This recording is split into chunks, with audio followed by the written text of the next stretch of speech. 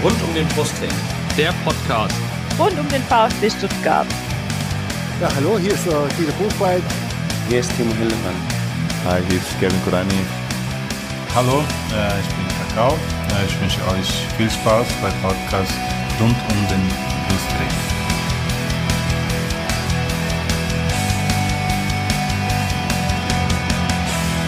Herzlich willkommen zum Podcast rund um den Brustring. Mein Name ist Yannick. Und mein Name ist Lennart.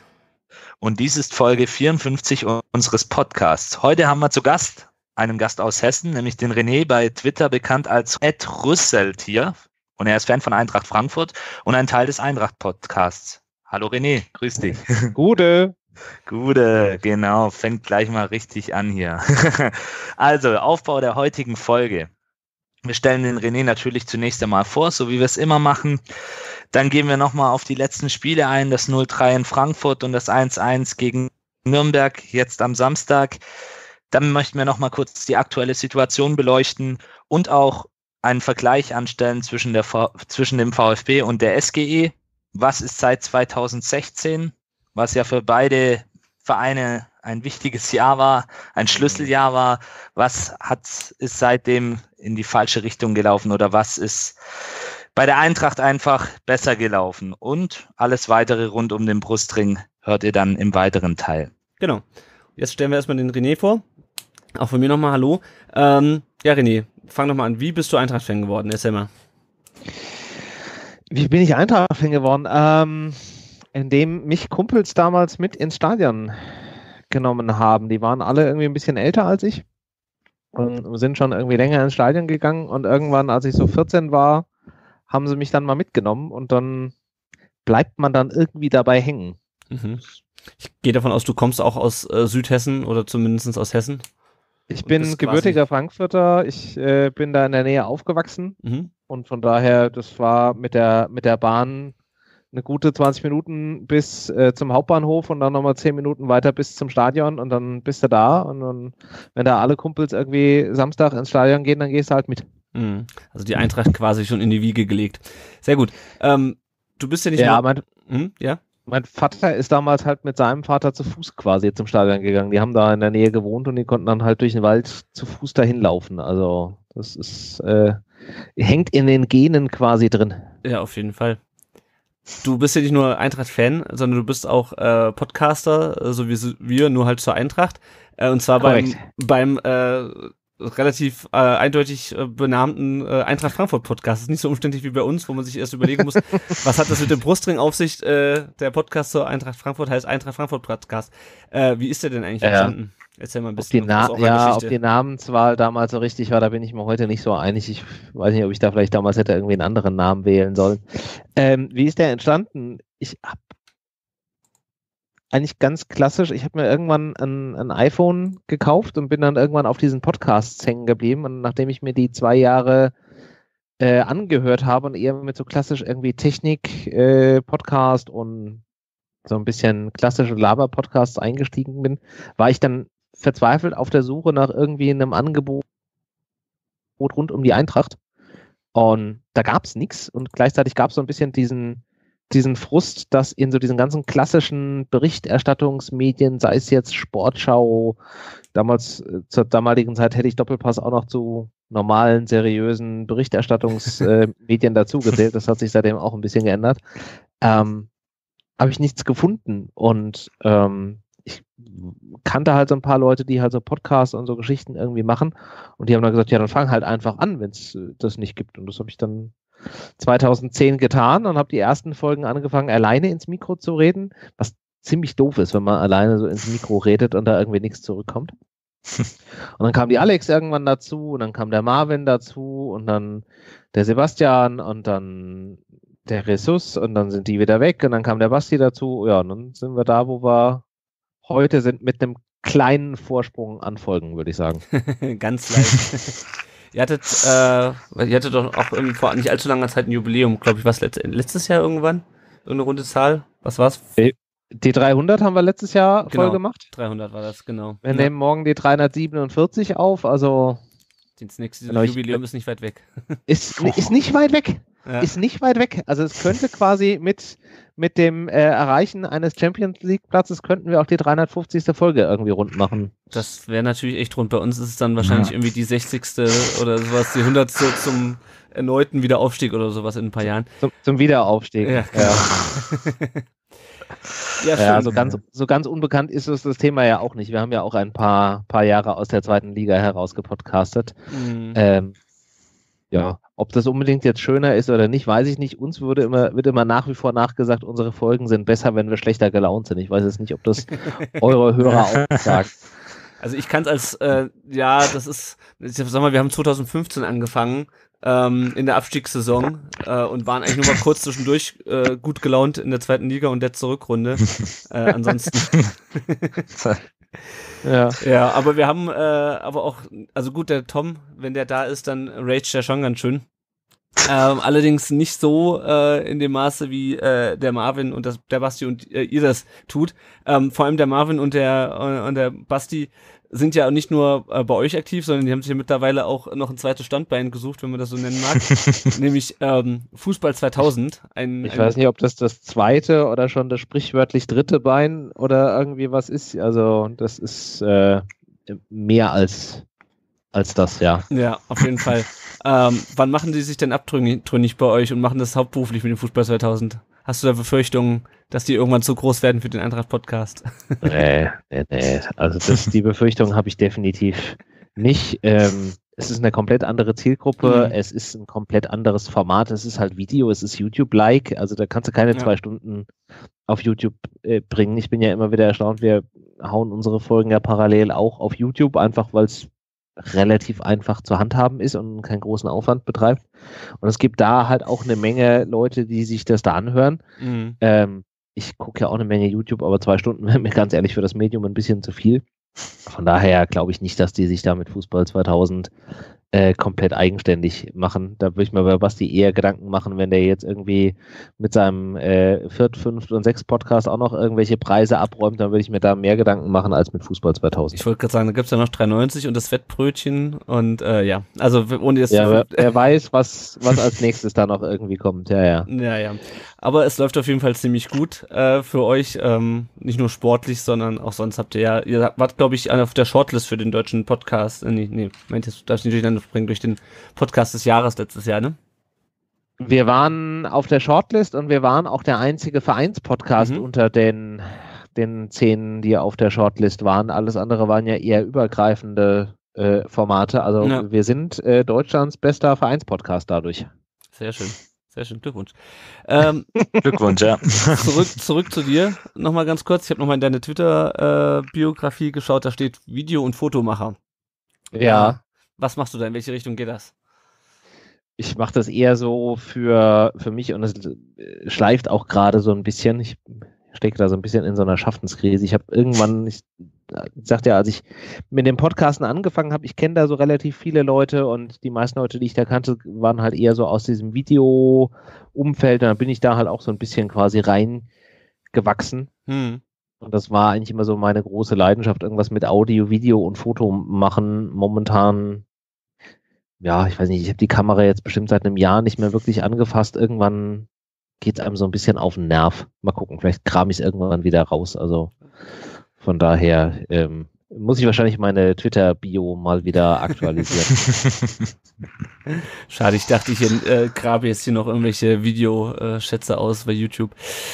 Gut, aber Audio. Es gibt Videoschätze bei YouTube. Wir haben als Antrag-Podcast auch mal eine Zeit lang äh, Video gemacht. Stimmt, eine unserer ersten Folgen, die wir gemacht haben, ähm, waren tatsächlich Video und es gibt eine legendäre Folge, wo Alex, da war sie noch ein bisschen öfter dabei, äh, Michael Skippe interviewt und ich habe immer mal überlegt, ob ich so eine Tiamo Musik und so ein Herzchenregen damit reinbauen soll, weil das schon sehr lustig aussieht. Sehr schön. Gut, dann zum Abschluss, bevor wir jetzt gleich auf das Spiel vom vorvergangenen Wochenende kommen, noch äh, die drei Fragen, die wir jedem Gast stellen. Dein erstes ja. Eintrachtspiel im Stadion, welches war das? Das weiß ich sogar noch sehr genau, weil ich die Eintrittskarte heute noch habe. Es war am 7.12.1996 gegen Oldenburg und wir haben verloren in der zweiten Liga. Es war ein ziemlich bescheidenes Spiel. Ich wollte gerade sagen, ich habe gerade überlegt, Oldenburg, äh, die sind noch nie aufgestiegen. Ach, das war aber, ja, ja, Das war das. Das war in der zweiten Liga, aber ich habe, da hat Gaudino noch ein Tor geschossen, das weiß ich noch. oh. ja, ja, schon, lang, schon zwei, drei Tage her. lang ist her. Äh, erstes äh, Eintracht-Trikot. Von wem? Oder hast du überhaupt Eintracht-Trikots? Ich habe Eintracht-Trikots, ähm, ich habe alle ohne Flock. Ich weiß nicht, ich war nie so der Freund von Flock, aber mein erstes Trikot ist auch aus der Saison 96, 97. Das ist dieses wunderbare mit diesem gigantischen Mitsubishi-Logo Mhm. vorne auf der Brust. Es ist nicht das Schönste, definitiv nicht, aber es ist das erste, was ich habe. War das weiß oder schwarz, schwarz-rot gestreift? Also, Äh, das ist rot, weiß und schwarz gestreift, ja. Ach ja, ich glaube, ich, ich weiß, welches du meinst, ja. Und dann dieses, dieses Mitsubishi-Logo da fett auf der Brust, was aus Ja, meiner ja. Sicht irgendwie gefühlt zwei Nummern zu groß ist, aber damals war das wahrscheinlich der Grund, weswegen man noch irgendwie zwei Euro mehr bekommen hat. Oder Ja, damals waren es ja noch Mark. Ich glaube auch irgendwann wurde das wahrscheinlich reguliert, wie viel Zentimeter genau äh, so ein äh, so ein Flock, äh, so ein Sponsorenflock auf dem Trikot haben darf, aber in wilden 90ern war das glaube ich noch nicht so. Ja. Und die dritte Frage, dein Platz im Stadion, im Ich Waldstadion. bin gar nicht, ich bin gar nicht so oft im, im Stadion, weil ich seit 2012 nicht mehr in Frankfurt direkt wohne, sondern äh, ins Rheinland gezogen bin. Und dann ist das mit Dauerkarte immer so ein bisschen äh, schwierig. Aber wenn, dann nehme ich eigentlich das, was geht. Ja. Also außer Haupttribüne, da habe ich einmal gesessen und es war keine so gute Erfahrung. Oh. Es war teuer und es war keine so gute Erfahrung. Weil die Leute, weil, weil das Spiel nicht gut lief und die Leute drumherum nur am Bruddeln waren, wie man bei uns sagt, oder eher so generell Ähm, das, dies, das Ambiente. Das waren damals Karten, die habe ich für einen Kumpel von mir zum Geburtstag besorgt. Ähm, es war das Spiel gegen die Bayern zu Hause, bei dem am Ende Tarnat im Tor stand und die Eintracht verloren hat. Neben uns auf der Haupttribüne saßen Bayern-Fans in gehobenem Alter. Oh. Es war nicht schön. Ja, okay, ich äh, kann es mir vorstellen. Man kann sich's vorstellen, ja. Gut. Ja, beim äh, 0 zu 3 äh, des VfB in Frankfurt stand Michael Tarnert äh, nicht im Tor. Und auch sonst. Ähm, Ja. War da Meinte, der hätte bei euch was gebracht? Äh, ich weiß nicht. Hm. Zu, beim Hm. 1-0, ich weiß es nicht. Ähm, blicken wir mal aufs äh, 3-0 in Frankfurt. Äh, Yannick, möchtest du das übernehmen? Mal zum, das Spiel ein bisschen. Ja, ja, sehr gerne, sehr gerne. Also zur Aufstellung, Askasiba war gelb gesperrt. Gentner rückte dafür dann auf die Achterposition, Castro auf die Sechs und mit Gonzales im Sturm wurde begonnen. Das heißt, da gab es dann schon die eine oder andere Änderung zu den vorherigen Spielen. Mhm. System war eigentlich das gleiche. Ähm, lange Zeit ein ziemlich ausgeglichenes Spiel, bis dann ein gewisser Philipp Kostic, einige VfBler werden sich erinnern, der hat auch mal bei uns gespielt, kurz vor der Pause trifft. Lennart hat es gerade kurz angesprochen, war er haltbar? Ja, nein, vielleicht. Ja, können wir gleich auch noch mal drüber diskutieren. In der zweiten Halbzeit macht's die Eintracht dann ja einfach clever und eiskalt. Kostic verwertet nach einem Konter einen super Pass von Jovic, nachdem auch Castro da nicht gerade gut aussieht, nicht richtig aufpasst und in der 84. Minute ähm, dann macht die Eintracht eben den Deckel dann auch drauf. Das mal in Kurzfassung gesagt war das Gastspiel bei der Eintracht. Ja, René, möchtest du mal aus deiner Sicht beginnen? Du bist ja der Gast heute. Wie war das Spiel für dich? Ähm, also ich muss zugeben, die erste Hälfte war durchaus anstrengend für mich, weil ich fand, dass der VfB das eigentlich gar nicht verkehrt gemacht hat, gerade was die Abwehrleistung ähm, angeht. Ihr habt uns da so ziemlich geärgert, dadurch, dass ihr einfach so kompakt da hinten drin gestanden habt und uns da wenig eingefallen ist an der Stelle. Ähm, wobei man auch dazu sagen muss, äh, das Ding in der dritten Minute von Jovic, wenn er da halt einfach eine Sekunde schneller im Kopf ist und das Ding halt quer liegt, dann ist das Ding halt auch drin und dann lauft ihr Mhm. ab der dritten Minute einem Rückstand hinterher. Und ich glaube, das wäre dann an der Stelle schon so ein bisschen der, der Todesstoß einfach gewesen. Mhm. Aber so haben wir uns da schon ziemlich schwer getan. Ich meine, ihr hattet ja jetzt auch durchaus Chancen, das Ding von Kempf da an, Die an die Latte, Mhm. ähm, was anscheinend jetzt auch ja irgendwie so sein, sein Signature-Move geworden ist, das hat er ja im letzten Spiel jetzt auch schon wieder gebracht, wie ich gesehen habe. Also, Ja. Ihr habt uns da schon so ein bisschen, so ein bisschen geärgert und da wenig Raum gelassen. Dieses 1 zu 0 kurz vor der Pause war halt einfach extrem wichtig für uns, ähm, einmal mit der Motivation da in die Pause zu gehen und euch halt auch so ein bisschen in dieses Spiel da rein zu zwängen, Mhm. weil wir halt eine unserer großen Stärken ist halt oder sind halt momentan einfach diese Umschaltsituationen und in die musstet ihr dann halt einfach zwangsläufig rein. Also das hat uns dann so ein bisschen da am Ende in die Karten gespielt. Aber so die ersten 45,5 Minuten habt ihr das eigentlich gar nicht so verkehrt gemacht. Hm. Warme Worte, warme Worte. Und am Ende haben wir trotzdem null Punkte. Ja, nee, ich, ich sehe das ähnlich. Also die ersten paar Minuten, klar, wenn, wenn da, wie es der René gerade gesagt hat, wenn da Jovic querlegt, ich glaube, Haller stand frei, Der stand sowas von frei. der, der also, hätte den wahrscheinlich mit verbundenen Augen gemacht. Oder wir drei hätten den wahrscheinlich auch gemacht, den Ball. ähm, ja, ich bin mir da bei mir nicht so ganz sicher, aber ja. ja, jetzt wollen uns nicht kleiner reden, wie wir sind. Aber ja, am Ende in der zweiten Hälfte, da hat die Eintracht eben gezeigt, warum sie da oben steht. Ich meine, das 2-0, der Pass von Rebic war es, glaube ich, oder Jovic. Rebic war es. Also das Rebic, war ja, ja. der, war ja diese Freistoßsituation. Ja. Mhm. Jovic haut das Ding quasi aus dem eigenen 16er raus an den Mittelkreis, wo Rebic das Ding ja darunter fischt und der halt einfach, wir haben lange bei uns im Podcast gesagt, dass wir Rebic nicht so als den klassischen Zehner irgendwie sehen, aber den Pass, den er da in den Lauf spielt äh, und ein, äh, du hast ihn schon angesprochen, ein, ein Philipp Kostic, der quasi am eigenen 16er startet und dann dieses Laufduell auf den letzten Metern noch gewinnt, um Zieler das Ding da rotzfrech durch die Hosenträger zu drücken.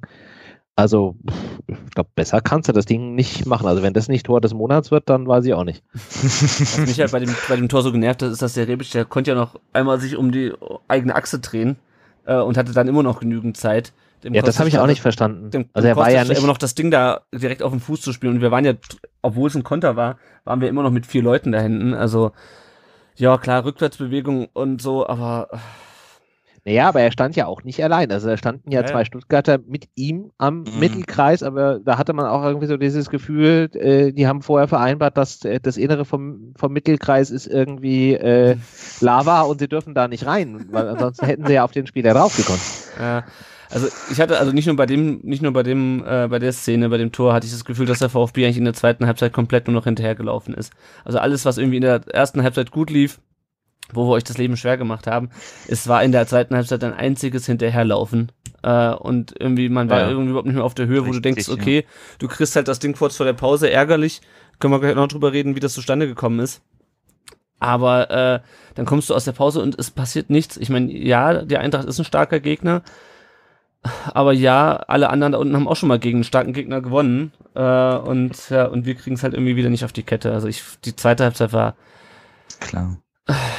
nervig. Du hattest immer noch 45 Minuten Zeit, was zu machen. Und es gab ja dann auch noch die ein oder andere Situation, wenn ich da an Esswein denke, der da plötzlich lossprintet.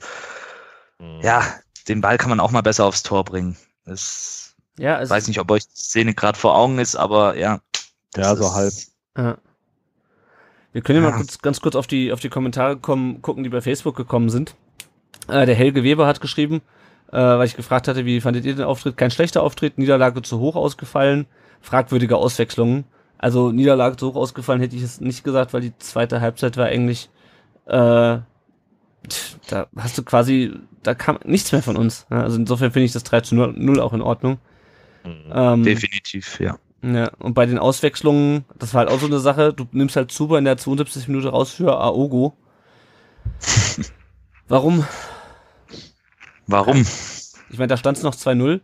Äh, ich verstehe nicht, warum man dann nur Spieler reinbringt, der halt Bälle im Mittelfeld verteilen kann, aber nichts mehr für die Offensive tut. Ich meine, Zuber war auch fast unsichtbar in dem Spiel, aber warum man dann nicht noch irgendwie Akolo, ich weiß nicht mehr, wer alles auf der Bank saß, aber irgendeinen Offensiven hätte es schon noch gehabt. Äh, Tommy. Ja, Tommy genau, wäre auch Tommy. eine Möglichkeit gewesen, Ja, ja. genau. Warum dann A- Aogo äh, kam, hat sich nicht erschlossen. Dir? Äh, interessant war eigentlich die Aussage von Weinziel da dazu. Ich weiß nicht, in welchem Medium er das ge preisgegeben hat, aber er hat ja dann gemeint, er wollte ihm irgendwie noch Spielzeit geben, weil er ihn ja dann quasi schon fürs nächste Spiel eingeplant hatte. So nach dem Motto, ja, jetzt ist eh alles verloren, jetzt kannst du auch noch ein paar Minuten spielen. Nee, also. Aber was ist, was ist das denn bitte für eine, für eine Variante für den Spieler zu sagen, von wegen, ah, komm, hier steht sowieso 2-0, äh, der Case ist, ist durch, äh, du brauchst sowieso noch ein bisschen Spielzeit, reißen kannst du eh nichts mehr, komm, geh halt mal aufs Feld. Ja, also. es ist eine, eine komische Aussage. Ich, ich, weiß, ich weiß es ehrlich gesagt auch nicht, was er sich dabei gedacht hat. Ähm, weil Aogo ist ja jetzt sicherlich nicht in der Liga als das Offensivmonster bekannt und man hätte ja. auf der Bank sicherlich noch die ein oder andere Möglichkeit gehabt mit Akolo oder eben Tommy nochmal ein bisschen Geschwindigkeit und Offensivpower in Anführungsstrichen einzuwechseln. Ja, also ich habe es nicht verstanden ja. und die andere Einwechslung, äh, auf die wir noch gucken sollten, ist äh, Gomez, der in der 79. Minute für Gonzales kam. Äh, ich fand halt, also ich habe bei Gonzales so ein bisschen das Problem, dass der halt einfach so schmächtig ist. Also ich hatte irgendwie das Gefühl, dass auch, auch wenn Gomez jetzt in den anderen Spielen auch nicht unbedingt gezeigt hat, äh, dass er weiß, wo das Tor steht, aber Gonzales, der lässt sich immer noch zu leicht ablaufen, zu leicht wegdrängen.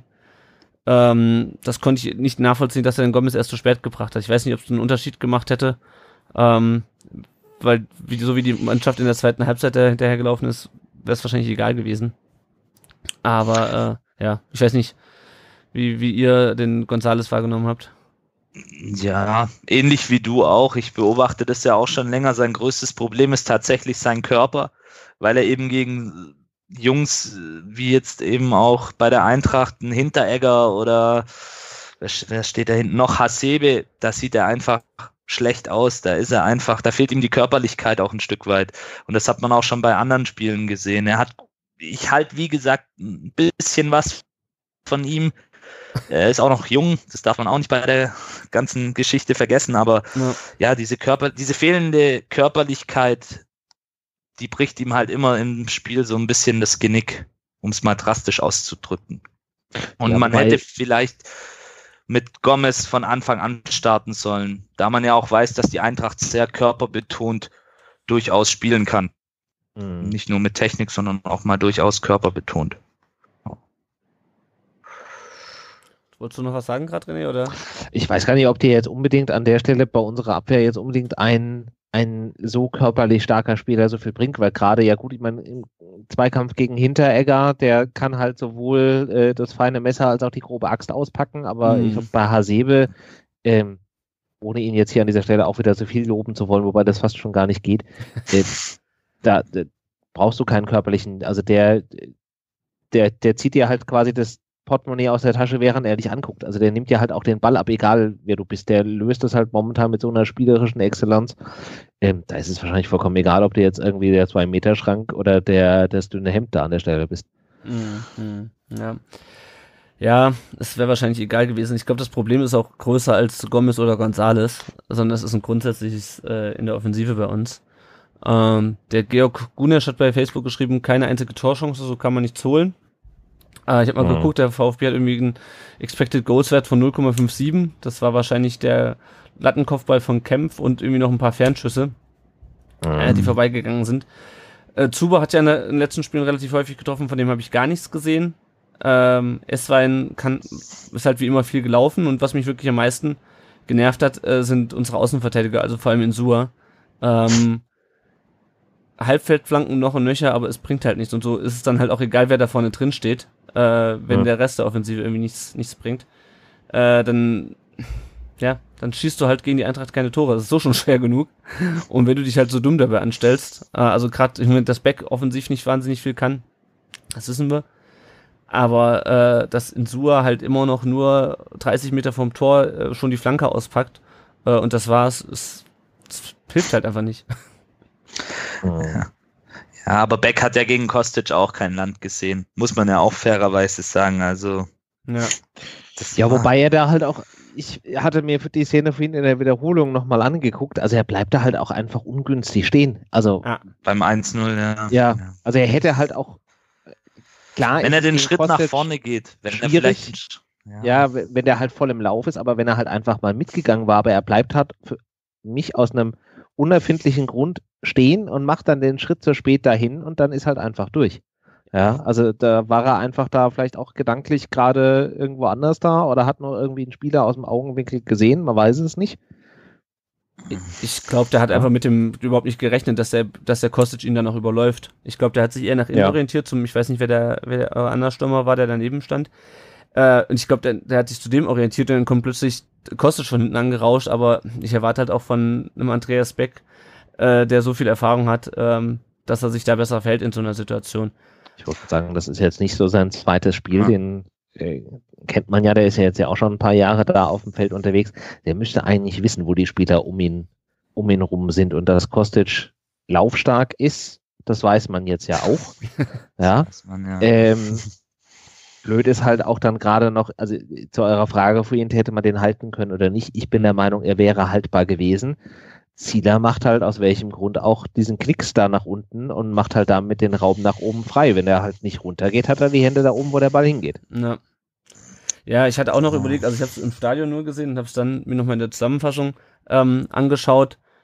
Er macht halt irgendwie die Augen zu und lässt den Ball durch die, also er hat ja die Hände ungefähr auf Ballhöhe, aber er lässt halt, also der ist halt die Distanz, glaube ich, einfach zu kurz, um den dann noch abzuwehren. Es sei denn, du faustest ihn halt wirklich irgendwie weg. Mhm. Aber es war irgendwie, irgendwie waren alle überrascht davon, dass der Kostic da noch um die Ecke kommt und das, und das Ding da reinknallt.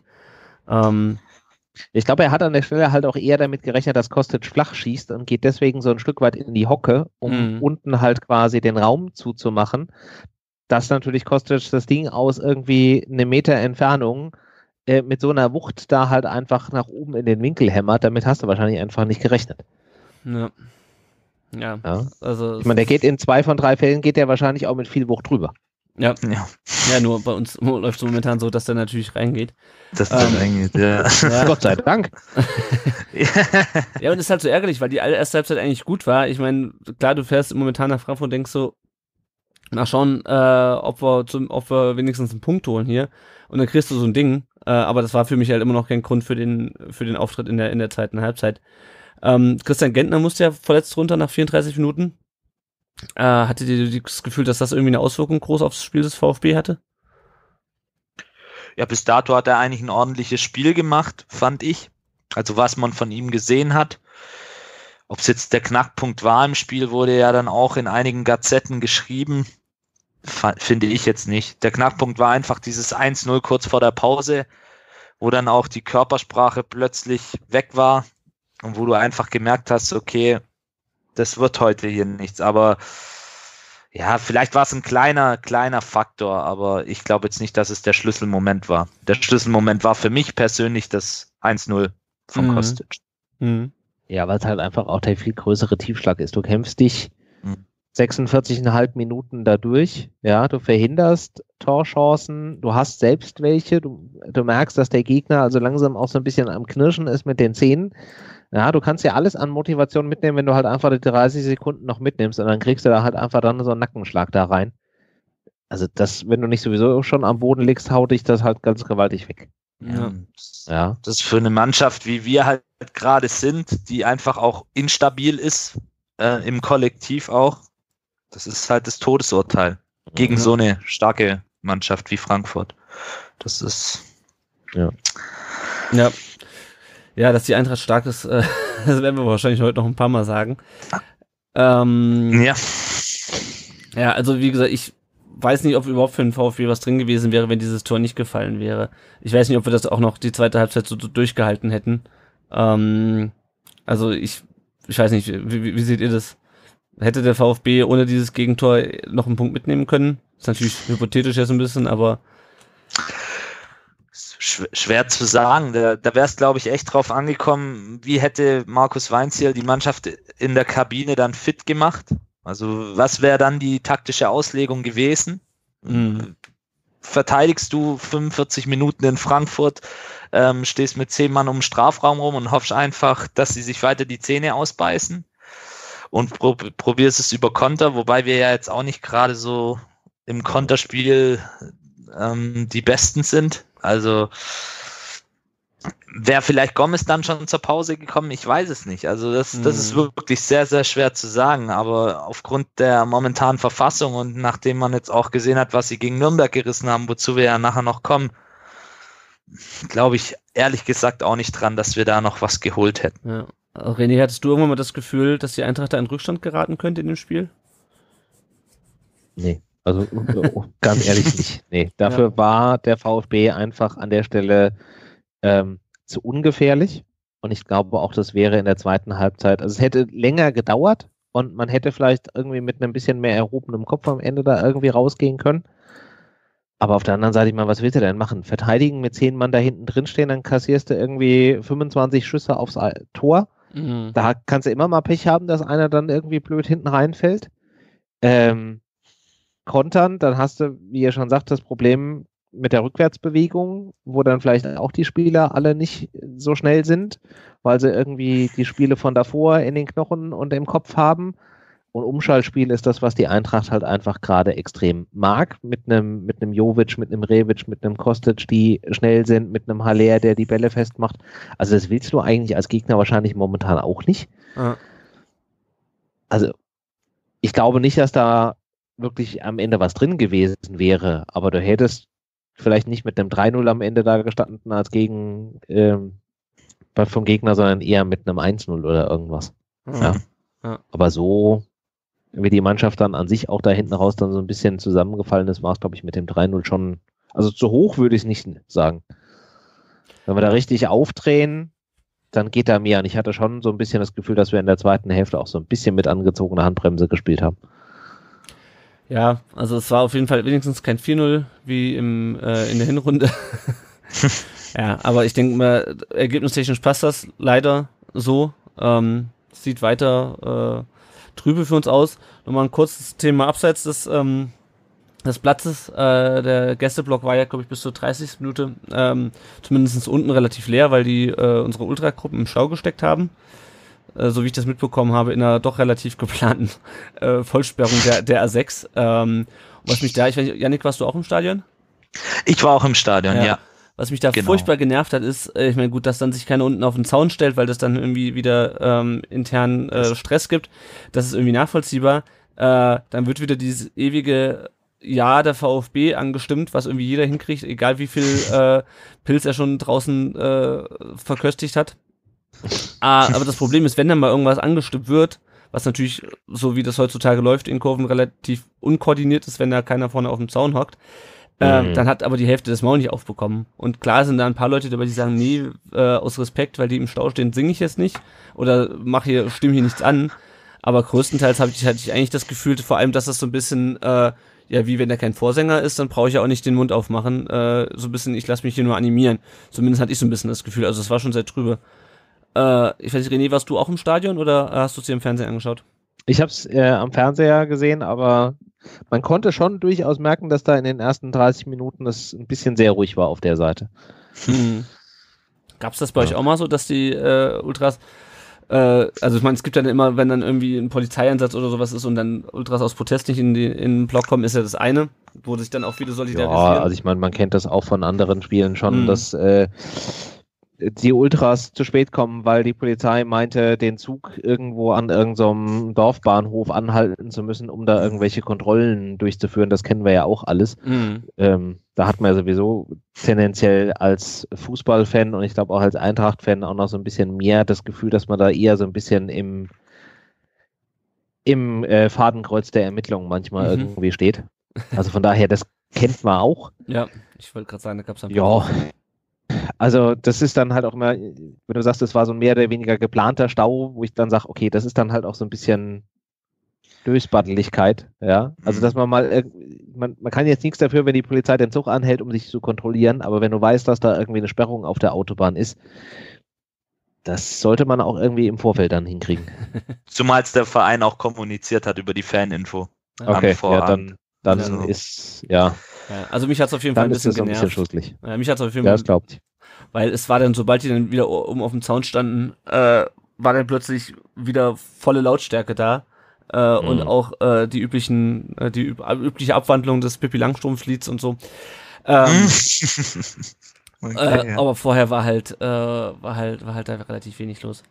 Ja, ähm, ich würde sagen, zur ähm, zur Saison der Eintracht und so generell, wie es bei der Eintracht läuft, kommen wir später noch. In so einem Segment, wenn es darum geht, was sich beim VfB und der Eintracht seit 2016 getan hat. Äh, mhm. Ich würde sagen, wir blicken jetzt nochmal auf unser zweites Spiel. René, du oh, hast ne. es, glaube ich, in der, ähm, in der Zusammenfassung gesehen, hast du gesagt, ne? Ja, also ich hoffe mal, dass ihr mir das nicht verübelt, aber da war parallel ein anderes Spiel, was mich jetzt irgendwie aus unerfindlichen Gründen irgendwie mehr gereizt hat, mir das doch tatsächlich dann irgendwie live anzugucken. Und ich, ich bin dann auch kein Mensch, der nebenbei irgendwie Konferenz oder ein zweites Spiel laufen naja, hat. Das ist, kann ich irgendwie nicht. Von daher, ich habe es mir in der ähm, Zusammenfassung angeschaut und ja. den einen oder anderen äh, Spielbericht gelesen.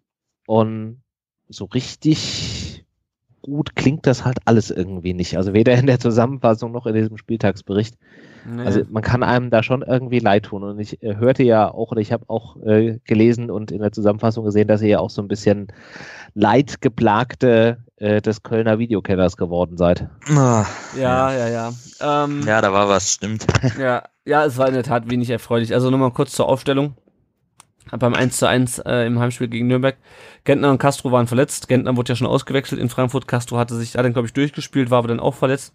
Fallen beide äh, drei bis vier Wochen auf, aus, wobei ich glaube, heute irgendwas nur eine Überschrift gelesen habe, bei Castro besteht wieder leise Hoffnung, dass der nochmal spielen kann. Äh, ich habe es aber nicht, nicht ganz gelesen. Ähm, Askasibar war nach seiner Gelbsperre wieder dabei.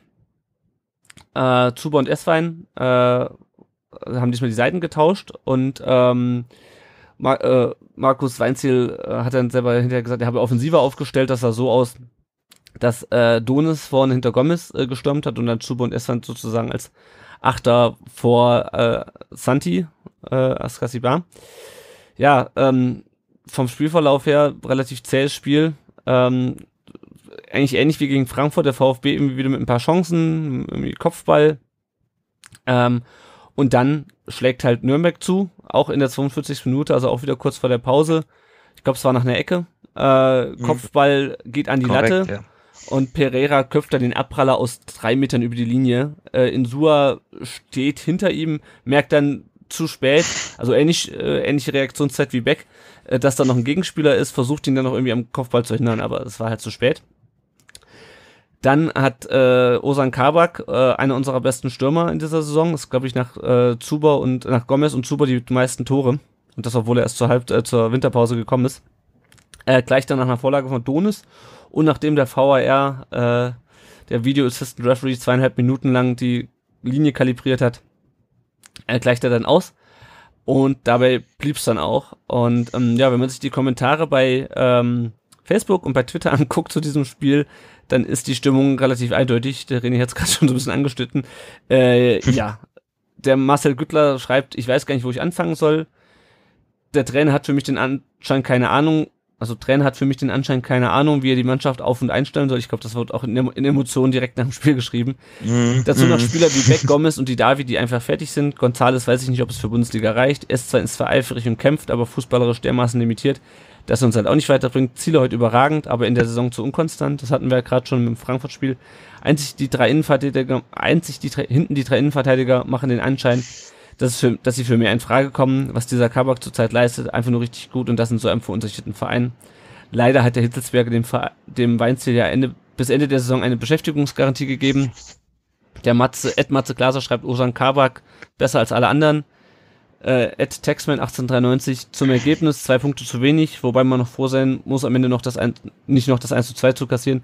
Zum Auftritt kämpferisch absolut okay, aber das Offensivspiel wird diese Saison wohl nichts mehr. Ähm, ja, kämpferisch, das sagen wir irgendwie schon die ganze Rückrunde, dass wir kämpferisch eigentlich ganz okay sind. Aber es reicht halt einfach auch in so einem Spiel offensiv nicht. Und ich meine, dass es gegen die Eintracht offensiv nicht reicht, ist das eine. Aber gegen Nürnberg äh, kannst du, musst du mehr als ein Tor schießen äh, um, beziehungsweise musst du auf jeden Fall gewinnen. Also, ähm, ich weiß nicht, wie bewertet ihr dieses Spiel? Du hast ja ich wahrscheinlich kom komplett gesehen, äh, Yannick. Ja, ich habe ja ein, die Ehre, eine Dauerkarte zu besitzen. Das heißt, ich habe es mir in voller Länge mal wieder und in HD reingezogen. Ja, bin immer noch sprachlos, ganz ehrlich. Ähm, ich habe mich heute auch schon den ganzen Tag darauf vorbereitet, was ich zu diesem Spiel sagen soll, aber es ist, es fällt mir nichts ein. Ich bin immer noch so dermaßen enttäuscht von der Mannschaft, wie man in so einem, was ja auch als Schlüsselspiel ausgerufen wurde, wie man so pomadig und so ohne Wille das Ding oder das Tor zu machen in das Spiel reingehen kann. Das Stadion war ausverkauft. Wirklich. Es war tolle Atmosphäre, die Fans haben wieder eine schöne Choreo gemacht oder wir Fans haben eine schöne Choreo gemacht. Und am Ende vom Tag zeigst du dann so eine Partie. Also das ist wirklich, ja, ist einfach, es geht einfach nicht. So, so, so, so darfst du nicht auftreten zu Hause gegen Nürnberg. Gegen eine Mannschaft wirklich bei allem Respekt vor den Nürnbergern, die wirklich qualitativ in meinen Augen gerade mal Zweitliganiveau hat. So darfst du nicht auftreten. Und am Ende vom Tag musst du ja noch froh sein, dass du einen Punkt geholt hast. Mhm. Weil Nürnberg, wenn sie cleverer gewesen wären, wenn sie jetzt so, hält, ja. ja. Und auch davor noch zwei, drei Kontermöglichkeiten besser ausspielen, dann kassierst du das zweite Tor. Und dann glaube ich auch nicht, dass wir an dem Tag zurückgekommen wären. Und das, ja, Jetzt habe ich doch einiges gesagt, ne? aber es ist, ja, ich bin, mehr, mehr kann ich dazu nicht sagen. So, es war wirklich, ja, fast schon eine Schande, wie die Mannschaft aufgetreten ist. Ja. Sorry für meine derbe Wortwahl, aber es hängt mir immer noch oh, nach. Noch. Es hängt mir immer noch ja. nach. Ja. René, was war dein Eindruck von der Zusammenfassung, die du gesehen hast?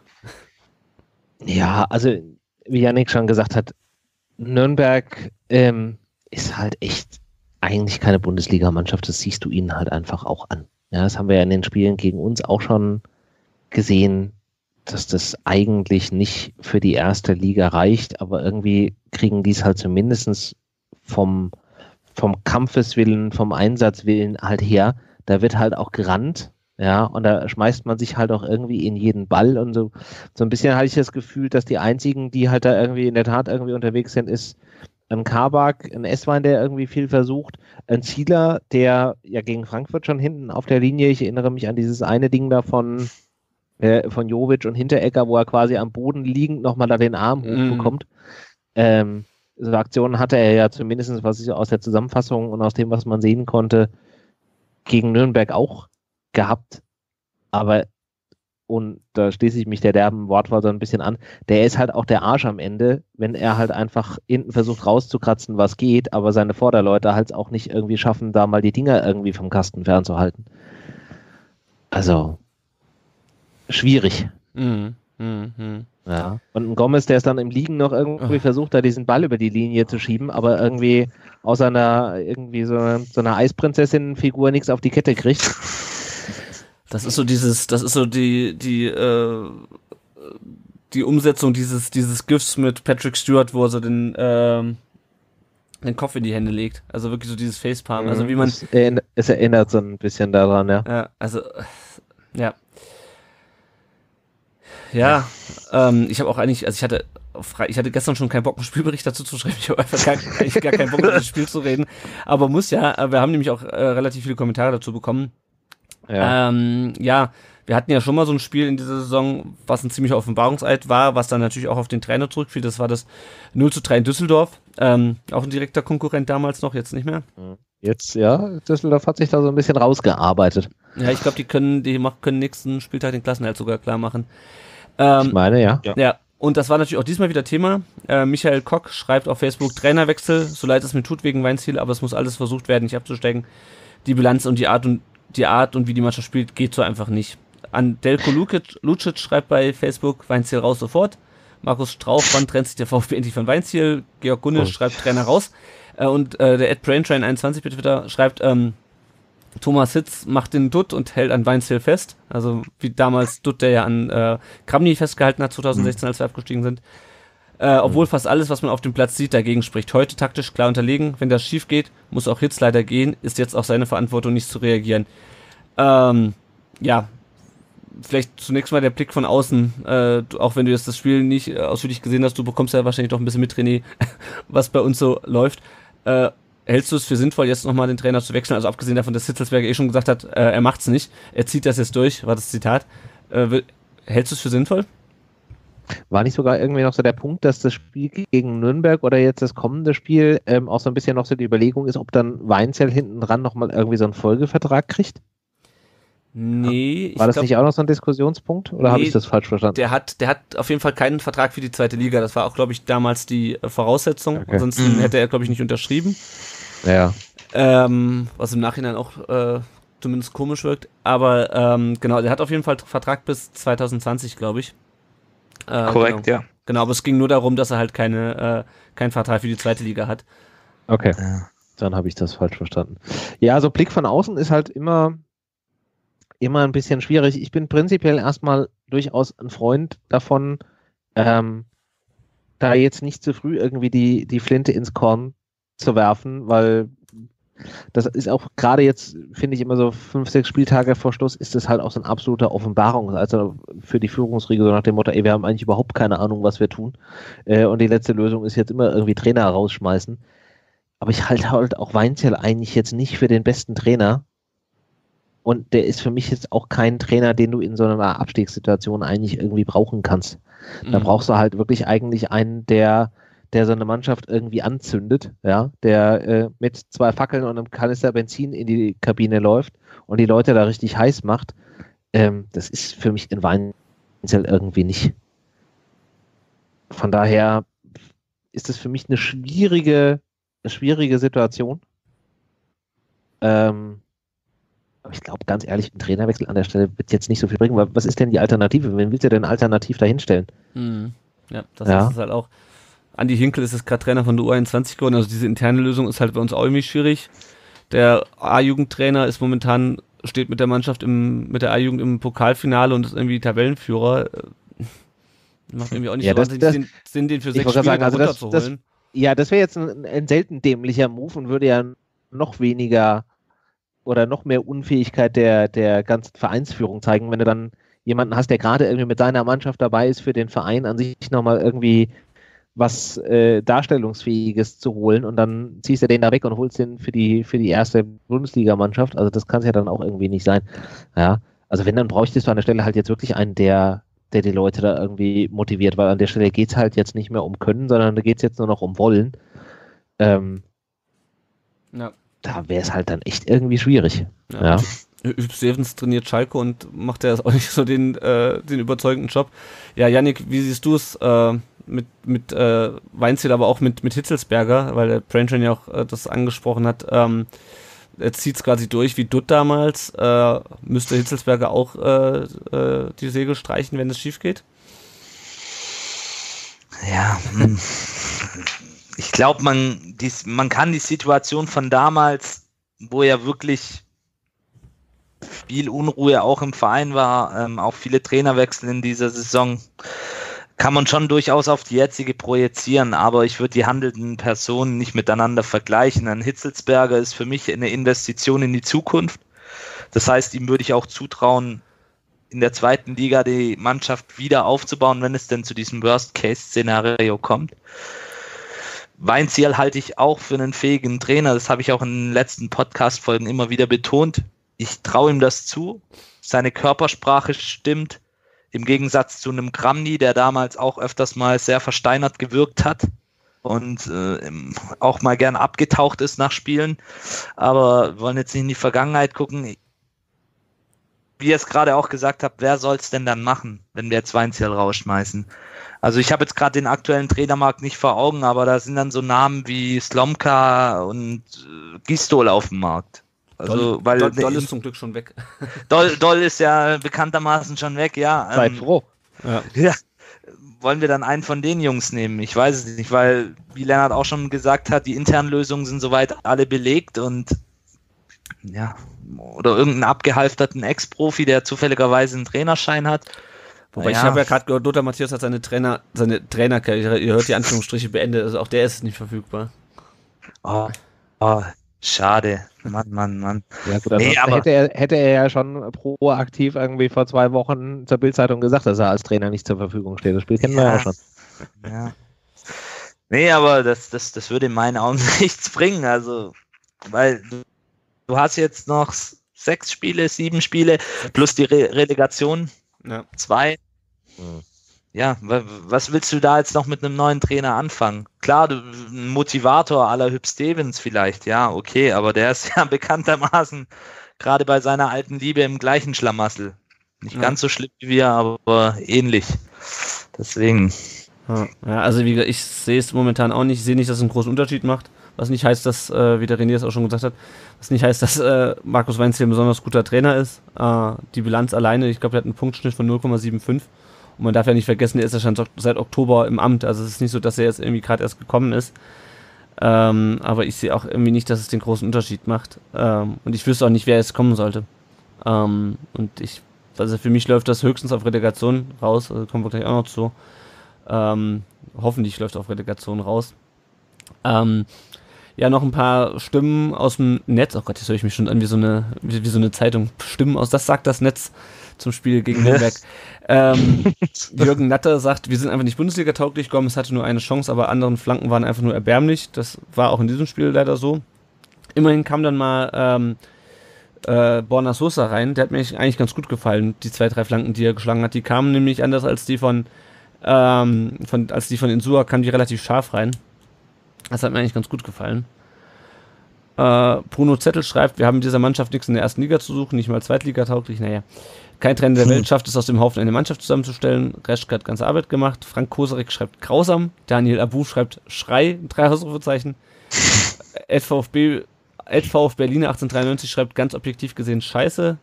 Äh, Tine 1893 mega schlecht. Da frage ich mich eigentlich, was die beruflich machen. Also äh, die Stimmung ist ziemlich, äh, ziemlich unten momentan bei uns. Man hört's. Sehr emotional alles. Ja, ja. Der Ed Ray Bucanero 74, den wir letzte Folge zu Gast hatten, schreibt, eine verstrittene C-Jugend hätte sicher ein besseres Spiel gemacht. Äh, Stefan Walitschke, so ist das, wenn man 16. ist. Ja, und es geht halt auch so ein bisschen in die Richtung, ähm, dieses Spiel gegen Nürnberg, gegen direkten Konkurrenten, die vom Spiel und jetzt immer noch zum Glück vier Punkte hinter uns sind, ähm, die Tine 1893 schreibt, man hätte 24 Punkte auf dem Konto haben können, die Nürnberger nach unten stoßen und so wenigstens die Relegation sichern können.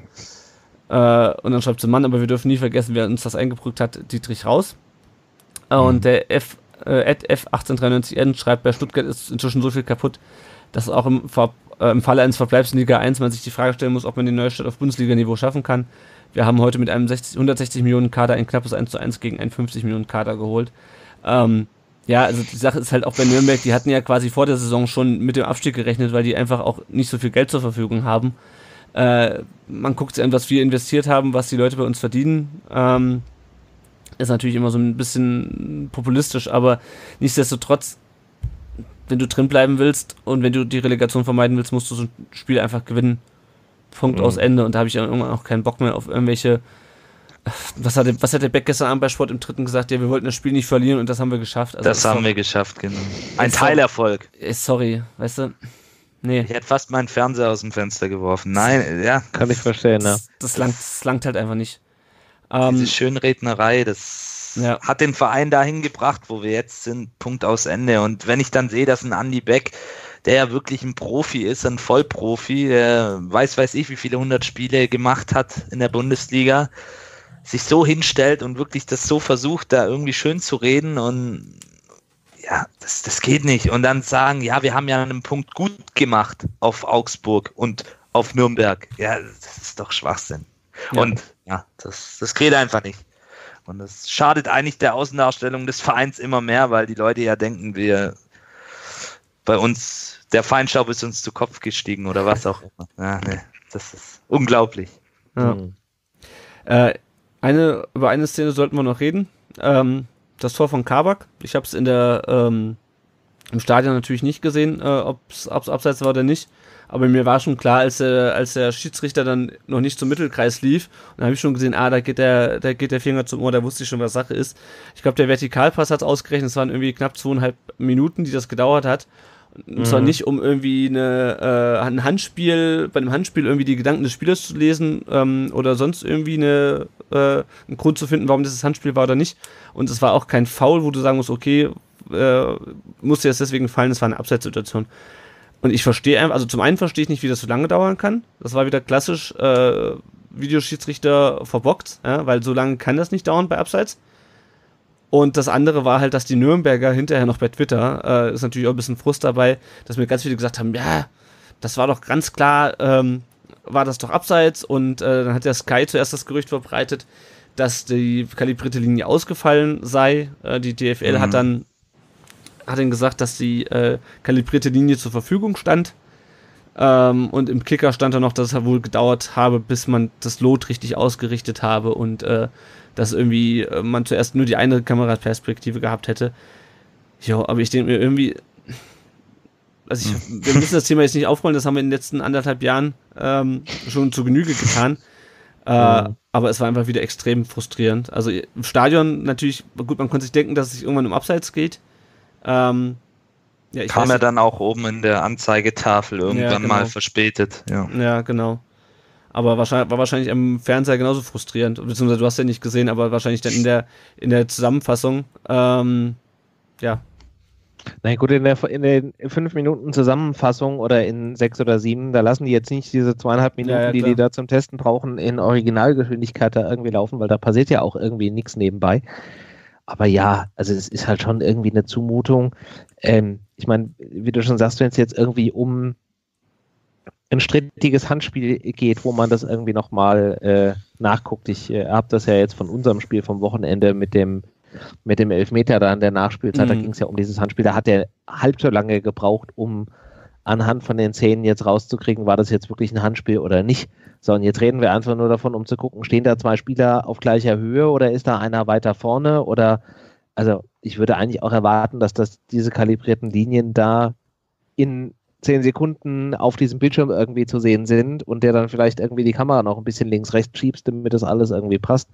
Also, ähm, wenn, wenn wir behaupten, dass KI in der Lage ist, äh, Satire von Nicht-Satire zu erkennen, dann müsste eigentlich auch in der Lage sein, so ein Computer so eine kalibrierte Linie da irgendwie auf den Teppich zu malen. Ja, ja. ich stelle mir das eher so vor, dass es irgendwann so läuft wie bei FIFA früher, wenn du dich plötzlich gedacht hast, wieso das Spiel plötzlich aufhört und dann stand irgendwer im Abseits und du hast es nicht mehr mitbekommen.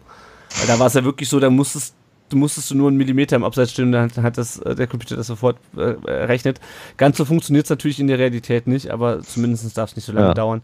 Ähm, dass die Zusammenfassung, die ich dabei, dann bei The Zone gesehen habe, sah für mich ganz klar aus, dass es kein Abseits war, weil halt der eine Nürnberger den Fuß noch draußen hat. Ähm, ja, gut, es gab eine lang, längere Diskussion. Ja gut, jetzt muss aber halt, es muss aber halt auch dazu sagen, dass wenn der Sohn oder wer auch immer dann da die Zusammenfassung macht, dann nehmen die natürlich schon eine Kameraeinstellung, in der das dann auch richtig zu sehen ist. Also ja, ja, klar. die haben ja dann auch mehr Zeit als jetzt in der Originalgeschwindigkeit oder in dem Originalablauf. Ähm, dann nehmen die ja jetzt nicht erst irgendwie drei komische Kameraeinstellungen, bevor sie die dann da nehmen. Aber ja, das ist gerade an der Stelle dauert es A zu lang und aus meiner Erfahrung heraus auch für die Leute, die im Stadion tatsächlich sind, ist es eine Zumutung, weil du stehst dann da zweieinhalb Minuten im Block, du weißt halt irgendwie gar nichts. Ja. Ähm, beim Fernsehen kannst du dir halt wenigstens noch ungefähr äh, dieses ganze Geblubber da von Sky antun, was jetzt auch nicht unbedingt irgendwie die Erleuchtung schlechthin ist, aber da hast du halt wenigstens nochmal irgendwie eine Wiederholung oder irgendwas, aber im Stadion hast du ja echt einfach gar nichts und das ist zum Würgen. Ja. Nee, mir ging es auch vor allem darum, äh, nicht um die, den Ablauf des Ganzen, sondern um die letztendliche Entscheidung. Also man, da hat man es, finde ich, auch wenn das natürlich nicht hundertprozentig genau ist, was im Fernsehen dann gezeigt wird, man dann doch gesehen, unabhängig davon, wie lange es jetzt gedauert hat, dass es halt kein Abseits war von Donis. Ja, aber auf der anderen, auf der anderen Seite muss man aber auch dazu sagen, also was wäre uns denn als, als Fußballfan, was ist uns denn lieber? Die investieren da zweieinhalb Minuten und am Ende kommt aber auch die Entscheidung raus, wo wir sagen, okay, die passt auch, ja, oder irgendwie, Hand ans Ohr, ja, war abseits, ja, war abseits. Tschö. Ja, und dann bist du nach 30, nach 10 Sekunden bist du durch und hast eine vollkommen falsche Entscheidung, weil sie sich keine Zeit dafür nehmen. Also, wenn wir die Technik schon haben und den ganzen Kram da irgendwie äh, mitgemacht haben seit anderthalb Jahren, dann sollen sie es halt auch wenigstens dann auch so angucken, dass sie auch zu der richtigen Entscheidung kommen ja, ja. und nicht irgendwie das Ding nur so als Alibi-Ding äh, verfällt, weil das ist dann halt auch irgendwie nichts mehr wert. Nee, das ist klar. Also das ist eine grundsätzliche Geschichte. Klar, wenn man ihn hat, dann sollte man auch richtig machen. Und dann, ähm, ich meine, das ist ja nicht die, war ja jetzt auch noch nicht die längste Unterbrechung, die es schon mal wegen Videoschiedsrichter gegeben hat. Und uns ist ja zum Glück erspart geblieben, dass er nochmal zum Bildschirm rennt äh, und äh, sich das da noch fünfmal anguckt. Ähm, ja, also es ist eine grundsätzliche Geschichte, ganz klar. Ganz klar. Also, ja, wobei ich da das auch von ihm erwarten würde. Also wenn du als Schiedsrichter, glaube ich, da auch so ein bisschen aus der Schusslinie genommen werden willst, dann gehst du da hin, guckst dir das selbst auch nochmal irgendwie an ja, und dann ist auch gut. Mhm. Ja, was mich bei diesen ganzen Situationen ja mehr immer aufregt, sind ja die Spieler, die dann irgendwie meinen, dann irgendwie gleich zu 20 auf diesen Schiedsrichter da einstürmen zu lassen, wo ich mir auch denke, jetzt lass die Menschen erstmal die Arbeit machen, beschimpfen könnte, danach immer noch. Ja, ja das war ganz, das war ganz interessant, weil es gab, glaube ich, zuerst gar nicht so viele Proteste. Äh, und dann stand der, Willenborg was, glaube ich, stand da und dann standen die in so einem Halbkreis um ihn rum, fünf Nürnberger und Gomez äh, als Kapitän, glaube ich. Also es war ganz interessant. Äh, war eigentlich eine sehr ruhige Szene. Mhm. Ja. genug zum Videoschiedsrichter, da wurden schon ganze Podcast-Folgen zu aufgenommen. Ähm, das war auf jeden Ja. Fall, es war auf jeden Fall nervig für uns. Ähm, ja, und damit war es das im Grunde auch schon zu diesem Spiel, es sei denn, euch fällt noch was ein. Hm, nee.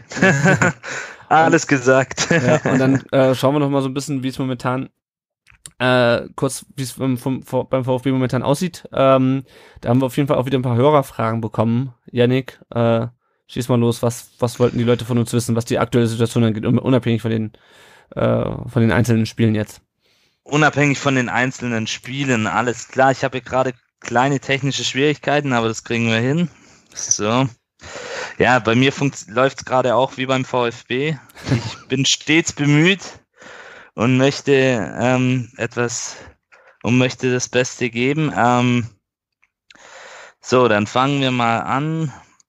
Mit wem fangen wir denn an, dass ich Der Ed Hier Brain keiner. 21. der der Brain Drain 21, at Brain Drain 21, ich hoffe, ich habe es richtig ausgesprochen. Der erste Punkt, Suspendierung Maffeo, Pablo Maffeo. Woran liegt's und wie soll es weitergehen? Ähm, die zweite Frage, ich lese sie mal alle mal durch. Def Defensivverweigerung Donis, was tun? Fragezeichen. Drittens, offensiver Plan, wie ist der außer Flanken und hohen Bällen? Viertens, Weinziel, warum soll er noch bleiben? Fünftens, Hitzelsberger. Welche Verantwortung hat er, wenn es mit Weinziel schief geht? Ich glaube, 4 und 5 haben wir schon beantwortet. Vier und fünf haben wir, wollte ich gerade sagen, das haben wir, da haben wir doch eigentlich schon drüber geredet. Genau. Suspendierung Maffeo, woran liegt's?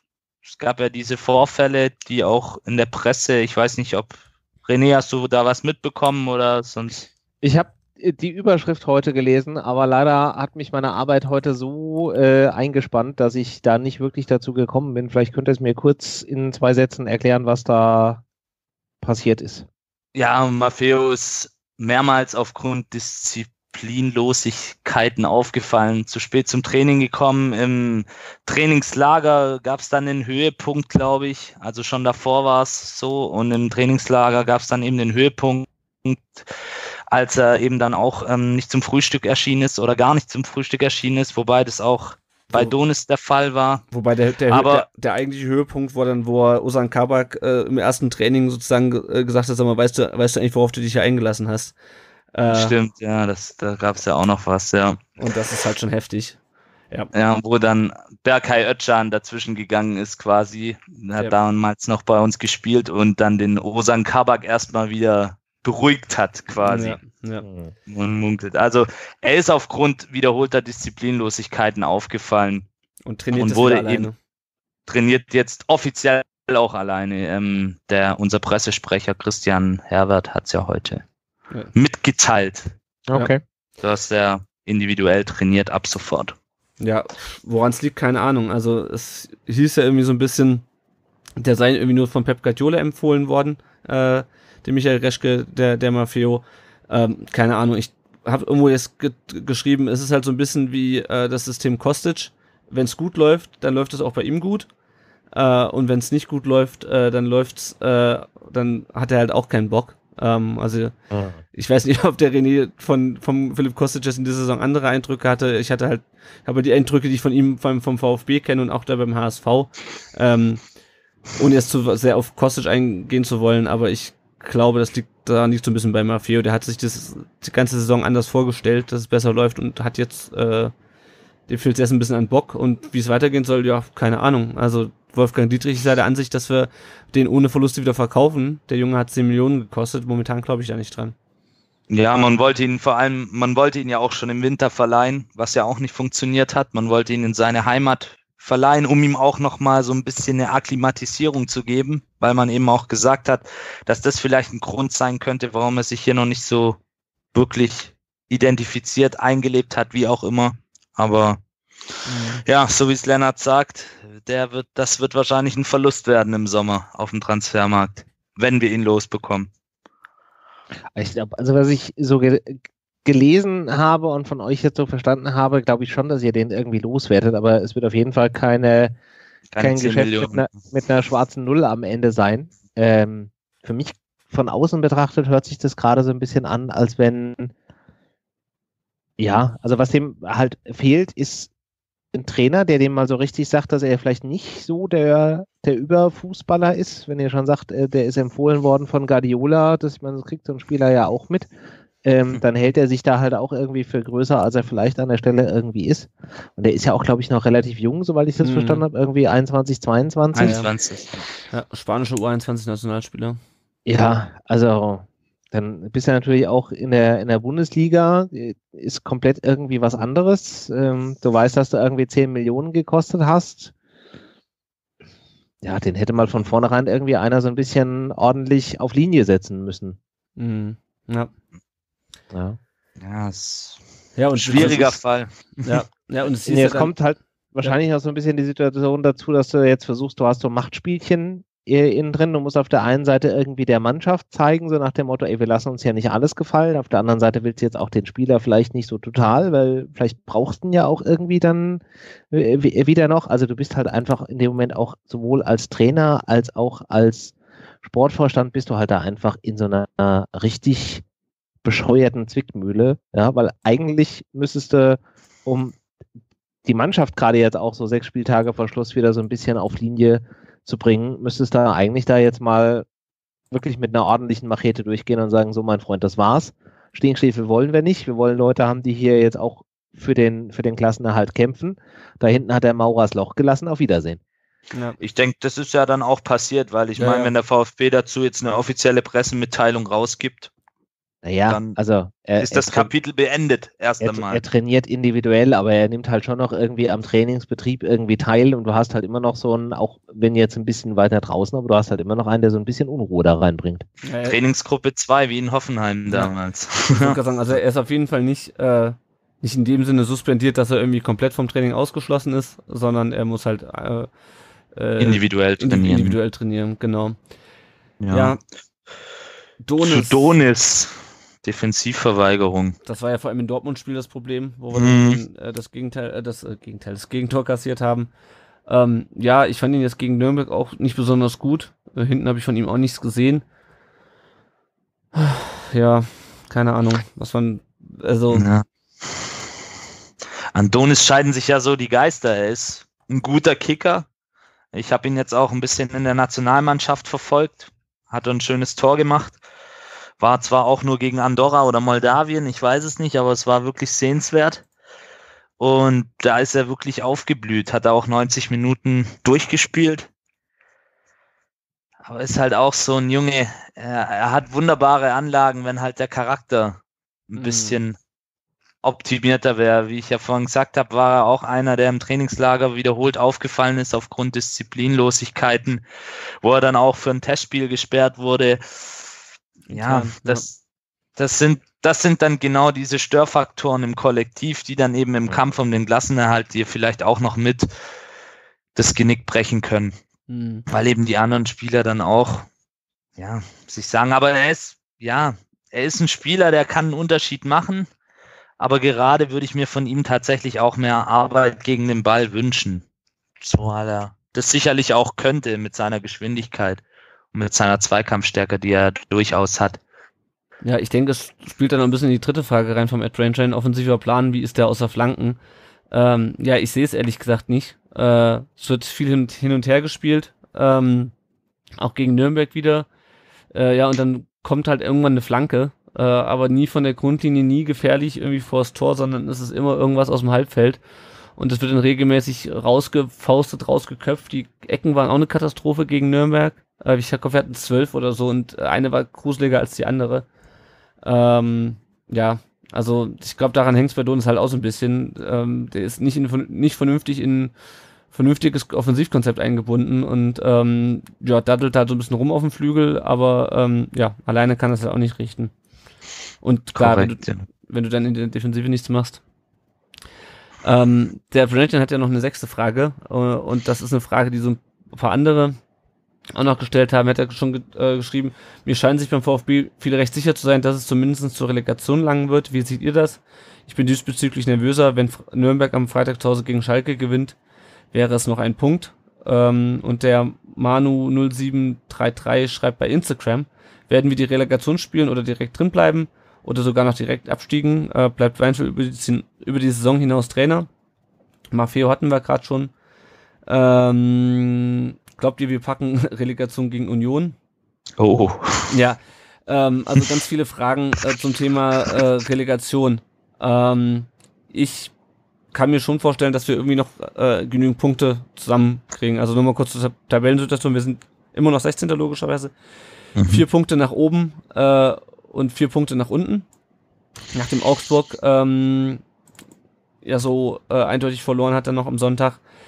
Ähm, wir spielen jetzt noch gegen Leverkusen zu Hause, in Augsburg gegen Gladbach, äh, bei der Hertha, zu Hause gegen Wolfsburg und dann gegen Schalke.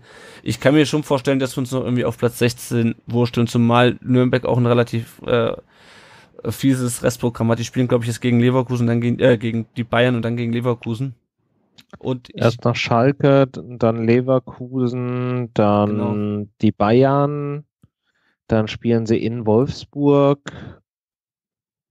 zu Hause gegen Gladbach und am letzten Spieltag spielen sie gegen Freiburg. Ja. Also mhm. alles, also gut, für Freiburg ist dann vielleicht die Saison schon durch.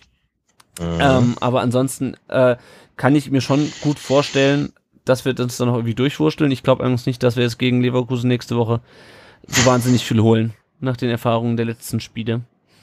Mhm. Ähm, ja, ich weiß nicht, Janik, wie, wie siehst du es? Ja, mein Tipp ist ja auch, dass wir in die Relegation kommen. Ich denke, wie gesagt, bei allem Respekt vor den Nürnbergern und auch den Hannoveranern, die zwei Mannschaften sind abgestiegen. Die sind, die werden jetzt auch nichts mehr holen. Ich habe mir auch das Restprogramm jetzt angeguckt. Da haben wir tatsächlich noch ein relativ angenehmes im Gegensatz zu diesen Mannschaften. Dann wird es noch ein Schlüsselspiel geben gegen Augsburg, wobei ich auch nicht glaube, dass die Augsburger in den nächsten Spielen, auch wenn sie jetzt am Wochenende 0 zu 4 verloren haben, die werden auch noch ihre Punkte sammeln und mhm. werden sich da dann auch festsetzen. Schalke, denke ich, hat auch, auch wenn sie jetzt wieder unglücklich verloren haben am Wochenende gegen die Eintracht, können, wird, denke ich, dann im morgigen Eintracht-Podcast ausführlich ähm, analysiert werden. Das ist so der Plan. Das ist so der Plan, mache ich sogar noch ein bisschen Werbung für euch. Nee, aber ich denke, dass wir wirklich jetzt diesen Relegationsplatz fest zementiert haben. Und ich glaube auch, weil ich habe mir heute mal in meiner Mittagspause die Mühe gemacht zu gucken, wie es denn in der zweiten Liga aussieht, welche Mannschaften da in Frage kommen, außer Union Berlin, die ja gerade auch eine Schwächephase haben in der Liga. Und das sind alles Mannschaften, bei allem Respekt und bei aller Grottigkeit, die wir gerade zutage legen, aber also spielerisch gesehen natürlich, aber die Mannschaften musst du in der Relegation qualitativ, also auf dem Papier eigentlich schlagen und weghauen, um es mal deutlich auszudrücken. Tja. Ja. Hast du, ich, hast du, hast du das Pokalspiel gesehen? Ja, ja, natürlich, natürlich. Die, die Heidenheimer, die nehme ich da vielleicht auch jetzt nochmal raus. Die haben natürlich, das war, brauchen wir nicht drüber sprechen, das war unglaublich. Das ist Pokal, wie er leibt und lebt. Und aber ich glaube halt auch nicht, ähm, wenn man sie jetzt am Wochenende habe ich sie mir angeguckt gegen Köln am Sonntag, da war halt nicht mehr viel davon zu sehen, um es mal vorsichtig auszudrücken, ohne den Heidenheimern jetzt auch zu nahe treten zu wollen. Ja, also ich, wie gesagt, wir wissen alle, wie die Relegation laufen kann. René hat sich selber schon als Fan mitgemacht, war damals auch eine enge Geschichte ja. gegen die Nürnberger. Ähm, Hör auf. Ja, da kommen jetzt Erinnerungen hoch. Aber ähm, ja. ja, ich denke, wir die Relegation werden wir dieses Jahr packen, oder darf man das sagen, packen oder werden in die Relegation gehen müssen und ja, das bisschen Resthoffnung, was ich noch habe, sagt mir, dass wir die dann auch schaffen. Mhm. Also, ja gut, ich meine, soweit ich das verstanden habe oder soweit ich mich erinnern kann, gab es den Fall, dass die Erstligamannschaft die Relegation gespielt hat, doch, glaube ich, nur einmal oder irgendwas, dass die runtergegangen sind. Also Hertha war es damals gegen ja. Düsseldorf, wo diese ja, Pyro-Aktion genau. war. Das war ja. 2012. Und ich glaube, in früheren Jahren ist es auch mal vorgekommen. Okay, das ist ja, das, das ist dann aber schon länger her, ja, ja. Ja, ja, also von daher, wenn du, wenn du den Relegationsplatz schaffst, dann kannst du dir eigentlich, soll es dir nicht komplett sicher sein, aber die Chancen sind größer für die Bundesliga-Mannschaft als für die Zweitligamannschaft. Das meine ich. Ich sehe ja. aber euer Restprogramm jetzt ganz ehrlich nicht so unkritisch. Also. Mhm. Ja, ich meine, Augsburg auswärts musst du gewinnen, wenn du, wenn du den Relegationsplatz Ja, da- behalten, willst- behalten Wenn du, den, wenn du den haben willst, dann ist das das Schlüsselspiel. Wenn er das Ding reißt, davor und danach, wird's halt echt irgendwie schwierig. ja. Ja. Auch eher im Vergleich zu Nürnberg gemeint, die jetzt noch Bayern vor sich haben, die jetzt gegen Schalke spielen. Mhm. Da haben wir, wenn man das so sagen kann, kein Gegner ist ja eigentlich angenehm in der Liga. Nee. Aber da haben wir noch das eher angenehmere Spiel, beziehungsweise das machbarere Programm, um es mal so auszudrücken. Ich könnte mir auch Genau. beispielsweise vorstellen, dass Ja, ja, aber das musst du halt auch erstmal machen. Also Ja, deswegen, ja. nur weil es machbares Programm heißt, heißt es ja noch nicht, dass es quasi direkt irgendwie durch Vor allem nicht bei unserem Club, ja. Das Ja. wissen wir. Ja, also beim Hertha-Spiel könnte ich mir noch vorstellen, dass äh, für die, also für die ist die Saison ja quasi jetzt schon gelaufen und die Für Stimmung die ist geht's um nichts mehr, ja. nicht so gut. Das ist wahrscheinlich am drittletzten Spieltag nicht anders. Ähm, aber klar, äh, ich traue unserer, Moment, unserer Mannschaft auch momentan alles und nichts zu, so ein bisschen. Äh, und auch mit der Relegation, ähm, so wie ich uns kenne, sind wir dann doch wieder die erste Mannschaft seit Hertha 2012, die dann runtergeht. Ja, äh, ich. egal gegen wen, also keine Ahnung. Ist, Also, na, das würde ich jetzt nicht sagen. Also rein, rein spielerisch oder rein, wenn ich mir jetzt die Kader der anderen Mannschaften angucke, dann, ähm, wie Janik schon gesagt hat, dann sind eigentlich Nürnberg und Hannover ja sowieso die beiden Mannschaften, die äh, am totesten von, von den dreien da unten sind.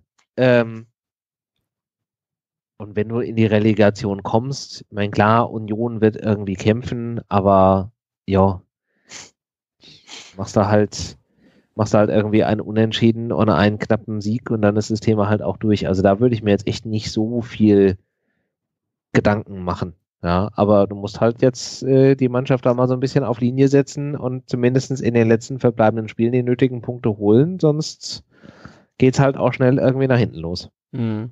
Ja, ich meine, wenn wir uns jetzt die zweite Liga, ich verfolge jetzt die zweite Liga nicht so eng, also Union steht auf Platz 3 mit 48 Punkten, hat man gerade schon gesagt, Pader, Paderborn Ja. und Kiel dahinter mit 45. Äh, und St. Pauli 44, Heidenheim 43. Ähm, ja, das ist halt immer so die Sache. Ähm, du kommst halt als, ähm, als Erstligist in die Relegation, spielst seit Wochen eigentlich scheiße.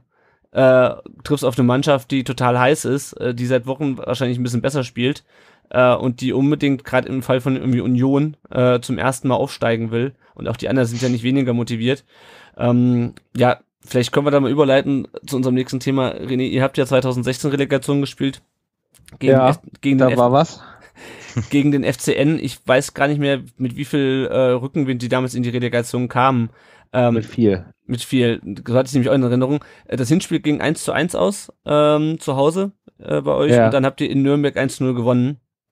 Ähm, war da auch dieses Gefühl so, äh, wir müssen uns jetzt hier äh, als äh, Absteiger, der ja auch nicht so äh, gut aus der Saison rausgekommen war, logischerweise, wenn du Drittletzter bist, ähm, wir müssen uns da diesem Ansturm des übermotivierten Zweitligisten erwehren und kriegen die gerade so unter Kontrolle.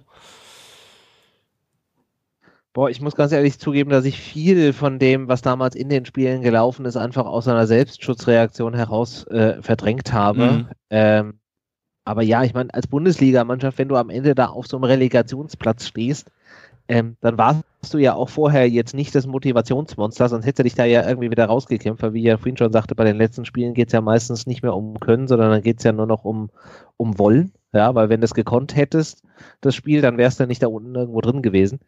Ähm, und klar, der, der Aufsteiger oder der, der potenzielle Aufsteiger ist natürlich immer motivierter an der Stelle und ich habe an Nürnberg sowieso generell irgendwie, wenn wir gegen die gespielt haben, selten irgendwelche guten Erinnerungen. Es waren nie schöne Spiele, soweit ich äh, das in meinem Kopf habe.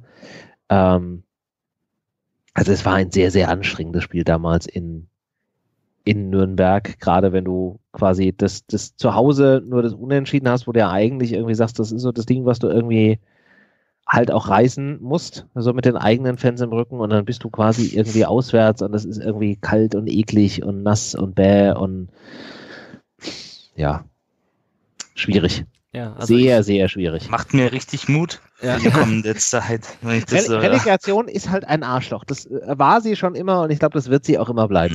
Ja, ja, ja, also für alle, die nochmal äh, die Termine noch nicht im Auge haben, es ist der 23. Mai, das ist ein Donnerstag und der 27. Mai, es ist ein Montag und wir spielen zuerst zu Hause, so wie die Eintracht damals auch. Ja, äh, 2016, die Eintracht rettet sich. Äh, Ja. Der VfB steigt ab als Tabellenvorletzter. Ähm, ja. Und jetzt ist es drei Jahre später und der VfB steht auf dem Relegationsplatz und die Eintracht steht auf Platz vier und im Europapokal Viertelfinale und hat zwischendurch noch den Pokal geholt. Ähm, ja. Würdest du sagen, dass der VfB und die Eintracht jetzt mal abgesehen vom Saisonausgang 2016 eigentlich relativ auf Augenhöhe waren oder äh, war da schon, keimte da schon äh, der Erfolg äh, bei euch auf?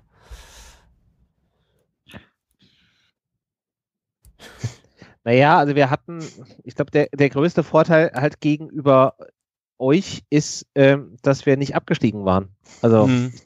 Ich glaube, das ist so der größte Knick, den du natürlich in dem in diesem ganzen Ding da drin hattest. Ähm, wir hatten vorher ein halbes Jahr knapp Kovac, ähm, der ja dann quasi so dieser Motivationstrainer da ist. Wir hatten das Glück, dass wir im Verein, in der Führungsmannschaft ähm, umsortiert haben. Ähm, Leute hatten, die halt auch auf einmal in der Lage waren, so ein bisschen einen, einen Plan zu entwickeln, die vielleicht auch mit so ein bisschen unorthodoxen Methoden da rangegangen sind. Und wir hatten halt, wie ich schon sagte, die komfortable Situation, dass wir, auch wenn es eklig war, aber durch die Relegation dann irgendwie drin geblieben sind. Das bringt dir natürlich immer noch mal eine andere Ausgangssituation, als wenn du halt wirklich aus der unteren Liga dann da den Anlauf noch mal nehmen musst. Mhm. Ja.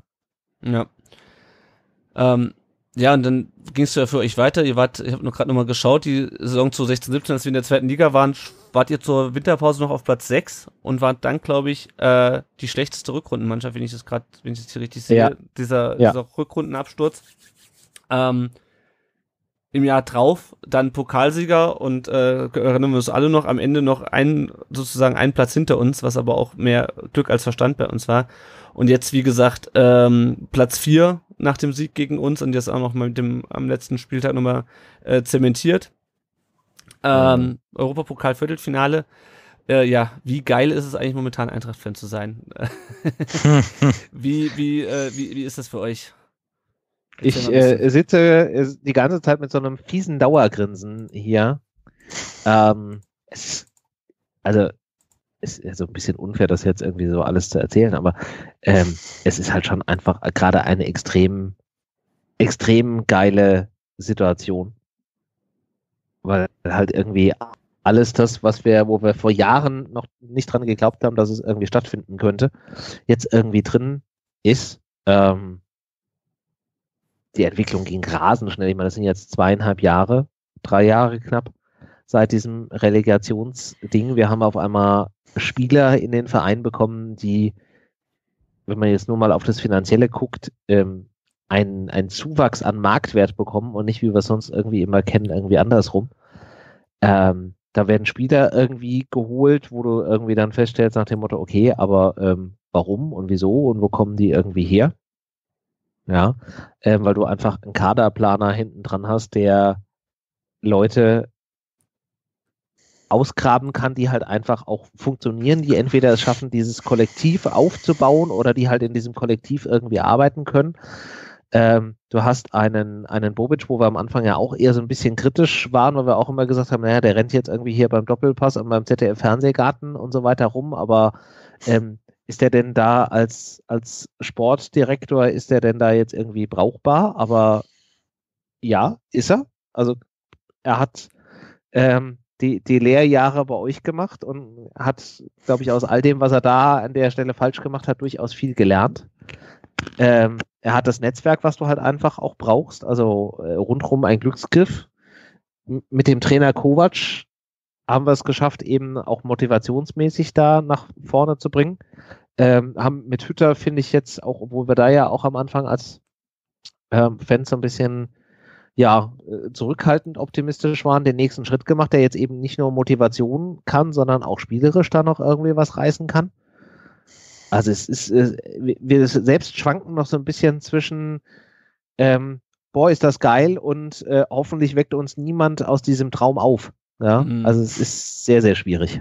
Ja, ja ich habe es auch ähm, auf, der, auf der Rückfahrt vom, vom, vom Frankfurt-Spiel, habe ich dann auch so ein paar Leute irgendwie in der S-Bahn oder im Regionalexpress gehört, die dann gesagt haben, die dann meinten, ja, vorm Spiel dachte ich, naja, jetzt ist es wieder so ein Spiel gegen VfB, wo wir dann irgendwie äh, doch wieder stolpern und dann tun wir es halt doch nicht und dann geht so ein Spiel halt 3-0 für die Eintracht aus oder jetzt gegen Schalke, war es ja auch wieder so, wo er dann irgendwie, oder ach, Hoffenheim, es gibt ja viele Beispiele, abgesehen mal vom von Ja, du hast es ja, du hast es ja, Fiend, du hast es ja angesprochen. Also wir waren eigentlich in der einen Saison Hinrunde total toll und Rückrunde schlechteste äh, Mannschaft der Rückrunde. Wir waren über Jahre hinweg, und da sind wir als Eintracht-Fans auch so ein bisschen sehr gebrandmarkt, waren wir immer diejenigen, die es am Ende geschafft haben, den eigentlich schon seit zwei Jahren toten Gegner äh, auszugraben, anzuziehen und wiederzubeleben. Ja, das mhm. war so eins der großen Talente der Eintracht, selbst die, die schon fünfmal erschossen worden sind, trotzdem irgendwie wieder auf den Platz zu bringen.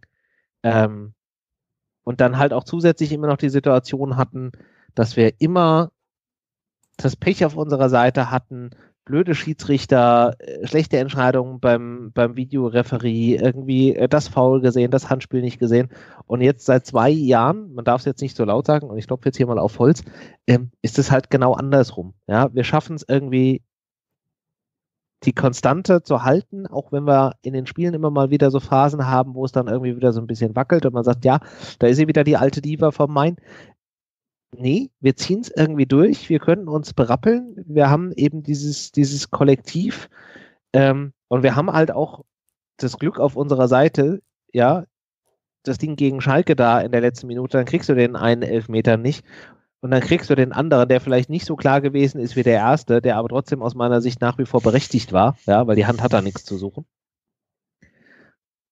Aber das Glück dann halt auch einfach an der Stelle mal irgendwie zu haben. Und egal wie die Saison am Ende ausgeht, wir können uns am Ende der Saison über nichts beschweren, selbst wenn es am Ende, jetzt mal so ganz schwarz gemalt, nicht mal mehr für Europa reicht, was ich ja ernsthaft nicht glaube. Was auch wahrscheinlich tabellarisch ja. kaum noch möglich ist, oder? Ja, also möglich ist es halt schon ja, noch, ja. ja.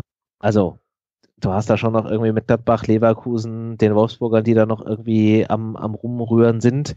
Ja, und wenn es irgendwie ganz scheiße läuft, dann äh, zieht auch noch Düsseldorf am Ende fast an dir vorbei. Aber da müsste halt schon einfach verdammt viel schief laufen. Mhm. Selbst dann kannst du dich eigentlich über nichts beschweren, solange die Leistung am Ende stimmt. Ja, mhm. wenn du jetzt die letzten fünf Spiele quasi ohne Mannschaft aufläufst, dann ist es vielleicht nochmal was anderes. Aber wenn du halt einfach kämpfst und hast am Ende halt einfach ein bisschen weniger Glück als der Gegner, dann ist es halt so. Das gehört halt zu dem Spiel auch irgendwie mit dazu. Aber mhm. trotzdem muss man sagen, diese Entwicklung in zweieinhalb Jahren, wo andere Vereine irgendwie zehn, zwölf Jahre dafür brauchen, war extrem schnell und ich mache es nach wie vor daran fest, dass wir Menschen hatten, die bei uns ein Vertrauen bekommen haben, was sie woanders dann nicht bekommen haben, sowohl auf den Entscheiderebenen als auch auf den Spielerebenen und sie bereit waren, Energie in diesen Verein zu investieren und Dinge einfach mal auszuprobieren. Ja, wer hätte denn wissen können, dass ein Ndika, den nie irgendwie jemand vorher auf dem Schirm hatte mit seinen 19 Jahren aus äh, der französischen Liga, da halt einfach so dermaßen geil als Innenverteidiger performt. Mhm. Aber die Möglichkeit zu bekommen, das mal auszuprobieren und halt auch zu sagen, von wegen diesen viel besprochenen Kostic, den wir haben, ja, der war in Stuttgart und in Hamburg scheiße, aber wir glauben an ihn und wir glauben, dass er in diesem System was bewirken kann, den zu holen und dann auch noch zu sagen, von wegen, du spielst hier so verkappter linker Außenverteidiger. Mhm. Also den anderen Trainer und den anderen Verein, der das macht, den will ich mal sehen. Ja. Ja, du hast auch gerade schon angesprochen, die Person, ähm, Bobic, klar, ist ja in aller Munde, aber wer jetzt weniger ähm, in aller Munde ist, ist Ben Manga, euer ähm, Chefscout und Kaderplaner ist, glaube ich, seine. Ach, bei uns ist der schon, ist der schon des Öfteren ja, ja. Äh, in, in Gespräch. Also das ist eine ganz immens wichtige Personalie in dem, in dem ganzen Konstrukt. Ähm, der ist einfach so immens wichtig. Der hat ein solches Gespür für ähm, für die Spieler und wie so eine Zusammenstellung ist und der kann halt auch mit dem Trainer und mit dem Sportdirektor arbeiten. Also es ist ein so wichtiger Mensch und wenn ich mich nicht irre, läuft sein Vertrag zum Ende der Saison aus und ich hoffe, dass sie den einfach irgendwie verlängern. Ja, ich habe nämlich gerade mal bei Transfermarkt geschaut. Äh, da sieht man nämlich nur, nicht nur, äh, wie lange sein Vertrag voraussichtlich läuft. Äh, da steht nämlich 30.06.2019, 30. sondern auch, bei welchem Verein er vorher vier Jahre lang Scout war. Und das ist, äh, die VfB-Fans wissen das wahrscheinlich auch, äh, der VfB in der Tat gewesen. Und als dann der VfB abstieg, äh, ging Ben Manga dann zum 1.7.2016 zur Eintracht. Mhm. Ähm, Freddy Bobic hatten wir ja schon äh, eine Weile vorher entlassen. Ähm, der kam ja dann einen Monat vorher schon zu uns. Ja, genau. Der war, glaube ich, irgendwie im Juni dann, Anfang Juni irgendwie als Vorstand oder als Sportdirektor dann da, ja. Naja, gut, ich meine, dann ist klar, dass dann äh, so Leute dann natürlich dann auch mitkommen. Also es ist jetzt nicht äh, ungewöhnlich. Ja, und ähm, was mich einfach so ärgert, ist, dass äh, klar, natürlich hat der VfB das eine Jahr in der zweiten Liga verbracht, was sozusagen schon die Eintracht nutzen konnte, um einen gewissen Vorsprung aufzubauen. Aber ähm, dann machst du diese Ausgliederung, Ausgliederung und sagst irgendwie, äh, wir investieren jetzt so und so viel Geld, äh, so und so viel Millionen in diesen Kader und jetzt geht geht's aufwärts und jetzt wird alles besser.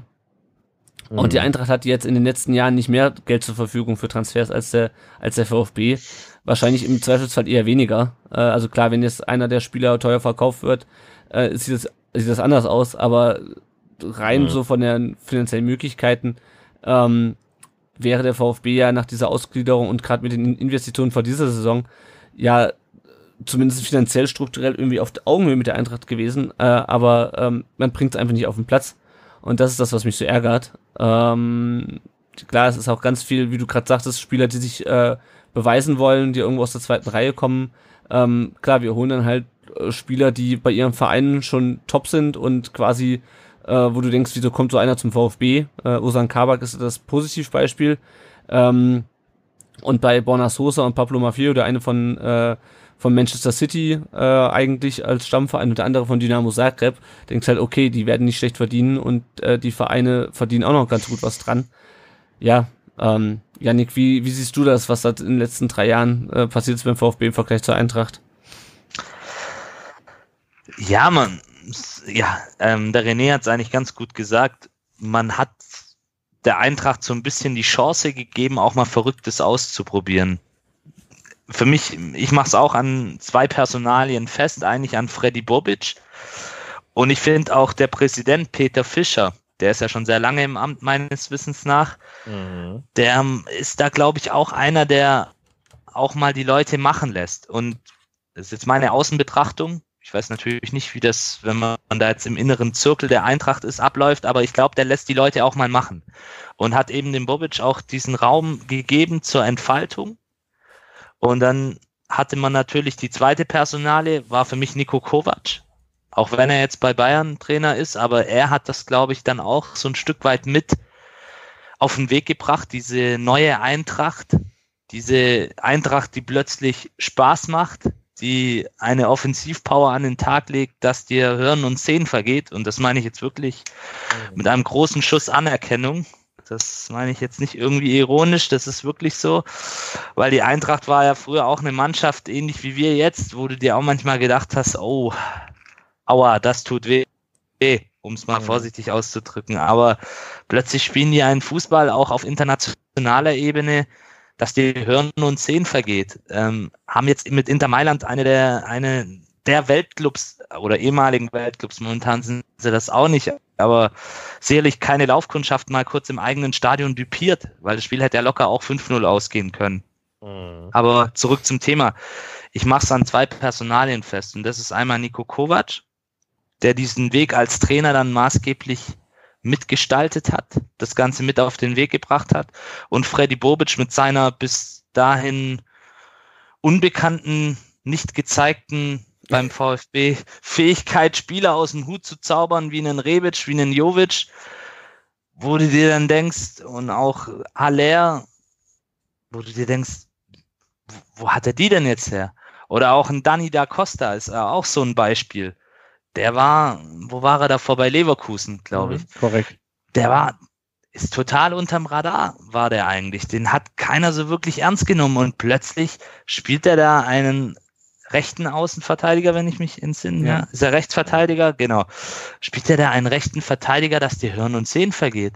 Und das ist einfach, ja, das ist unglaublich. Weil so ja, gut, aber auch, aber auch so andere Dinge, wenn du überlegst, ähm, in der letzten Saison ein, ein Kevin Prinz Boateng da hinzustellen. Auch jemanden, der in Deutschland in der Liga nie irgendwie was gerissen hat, der bei ganz vielen immer eher so als ähm, der Stinkstiefel, der, der, der Faule, der Partygänger irgendwie abgestempelt ist und den stellst du da halt einfach in die Mitte und er wird zur zentralen Figur nicht nur auf dem Platz, sondern auch neben mhm. dem Platz.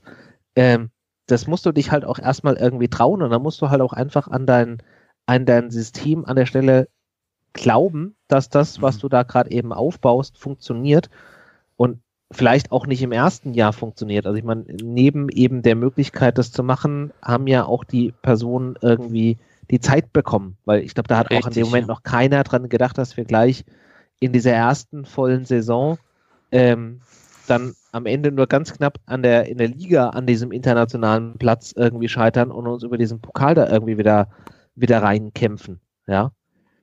Das ist, das meinte ich ja auch. Und da hast du dann halt auch diesen Präsidenten Peter Fischer, der da wirklich die Leute auch machen lässt, was ja bei uns leider nicht so wirklich der Fall ist, wenn man das, das, das jetzt mit uns vergleicht mit eher das Gegenteil. Ja. Und eben diese verrückten Dinge auch mal zulässt und sagt ja, okay, Bobic, mach das. Mach das. Mhm. Ich vertraue dir, ich stehe hinter dir. Und mit dem Herrn Hübner habt ihr ja auch jemanden, der recht kompetent ist in den Bereichen. Ja, das ist richtig. Also ähm, wir waren ja so ein bisschen äh, zwiegespalten, als diese ganze Ankündigung, Weggangsgeschichte ähm, von Kovac dann da hochkam.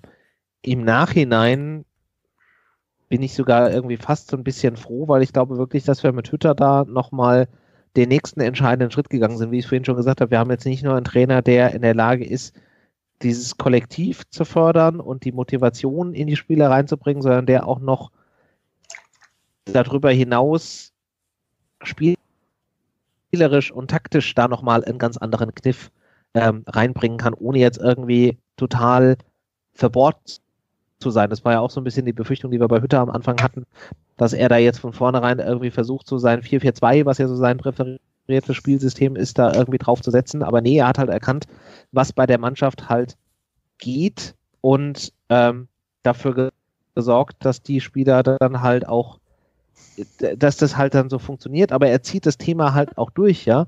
Was vorher passiert ist, wieder Spieler zu holen, bei denen man irgendwie am Anfang gedacht hätte, ja, aber was soll das denn bringen? Mit einem Hinteregger, der von der, mhm. der ersten Minute an irgendwie da ähm, mhm. gelaufen ist. Mit einem Seppelrode, der seit anderthalb Jahren nicht wirklich irgendwie Fußball gespielt hat, aber nach drei, vier Spielen zu der zentralen Position im Mittelfeld ähm, wird, wo du halt einfach jetzt schon extrem merkst, wenn der mal nicht auf dem Feld steht und du dich dann mit so einem Handelfmeter-Ding in der 96. Minute gegen Schalke irgendwie durchsetzen musst, weil dir der Mittelfeldmann mhm. spielt. Also das halt einfach auch fortzuführen, aber das halt auch nochmal noch mehr mhm. ähm, ja quasi darauf aufzubauen, aber und dann auch parallel, und das ist vielleicht auch nochmal so ein Ding, so zu erleben, wie dieser ganze Verein an sich sich professionalisiert, was Berichterstattung angeht, was ähm, Außendarstellung angeht, was diese ganze Social Media Thematik irgendwie angeht. Also einfach an sich diesen, diesen großen Schritt zu machen und alles das, was andere Vereine in den letzten acht bis zehn Jahren gemacht haben, mit so zwei großen Schritten irgendwie aufzuholen. Also da ist halt einfach viel, viel passiert. Mhm. Mhm. Definitiv. Ja, wir haben noch eine Frage bekommen vom Ed Marco Prostring, der sagt, frag doch mal den Ed Rüsseltier, ja. äh, wie die, wie, die Gewinner, wie die Gewinnermentalität in den Verein gekommen ist. Kann man das an, an Bobic festmachen oder äh, kann man das an der Person festmachen?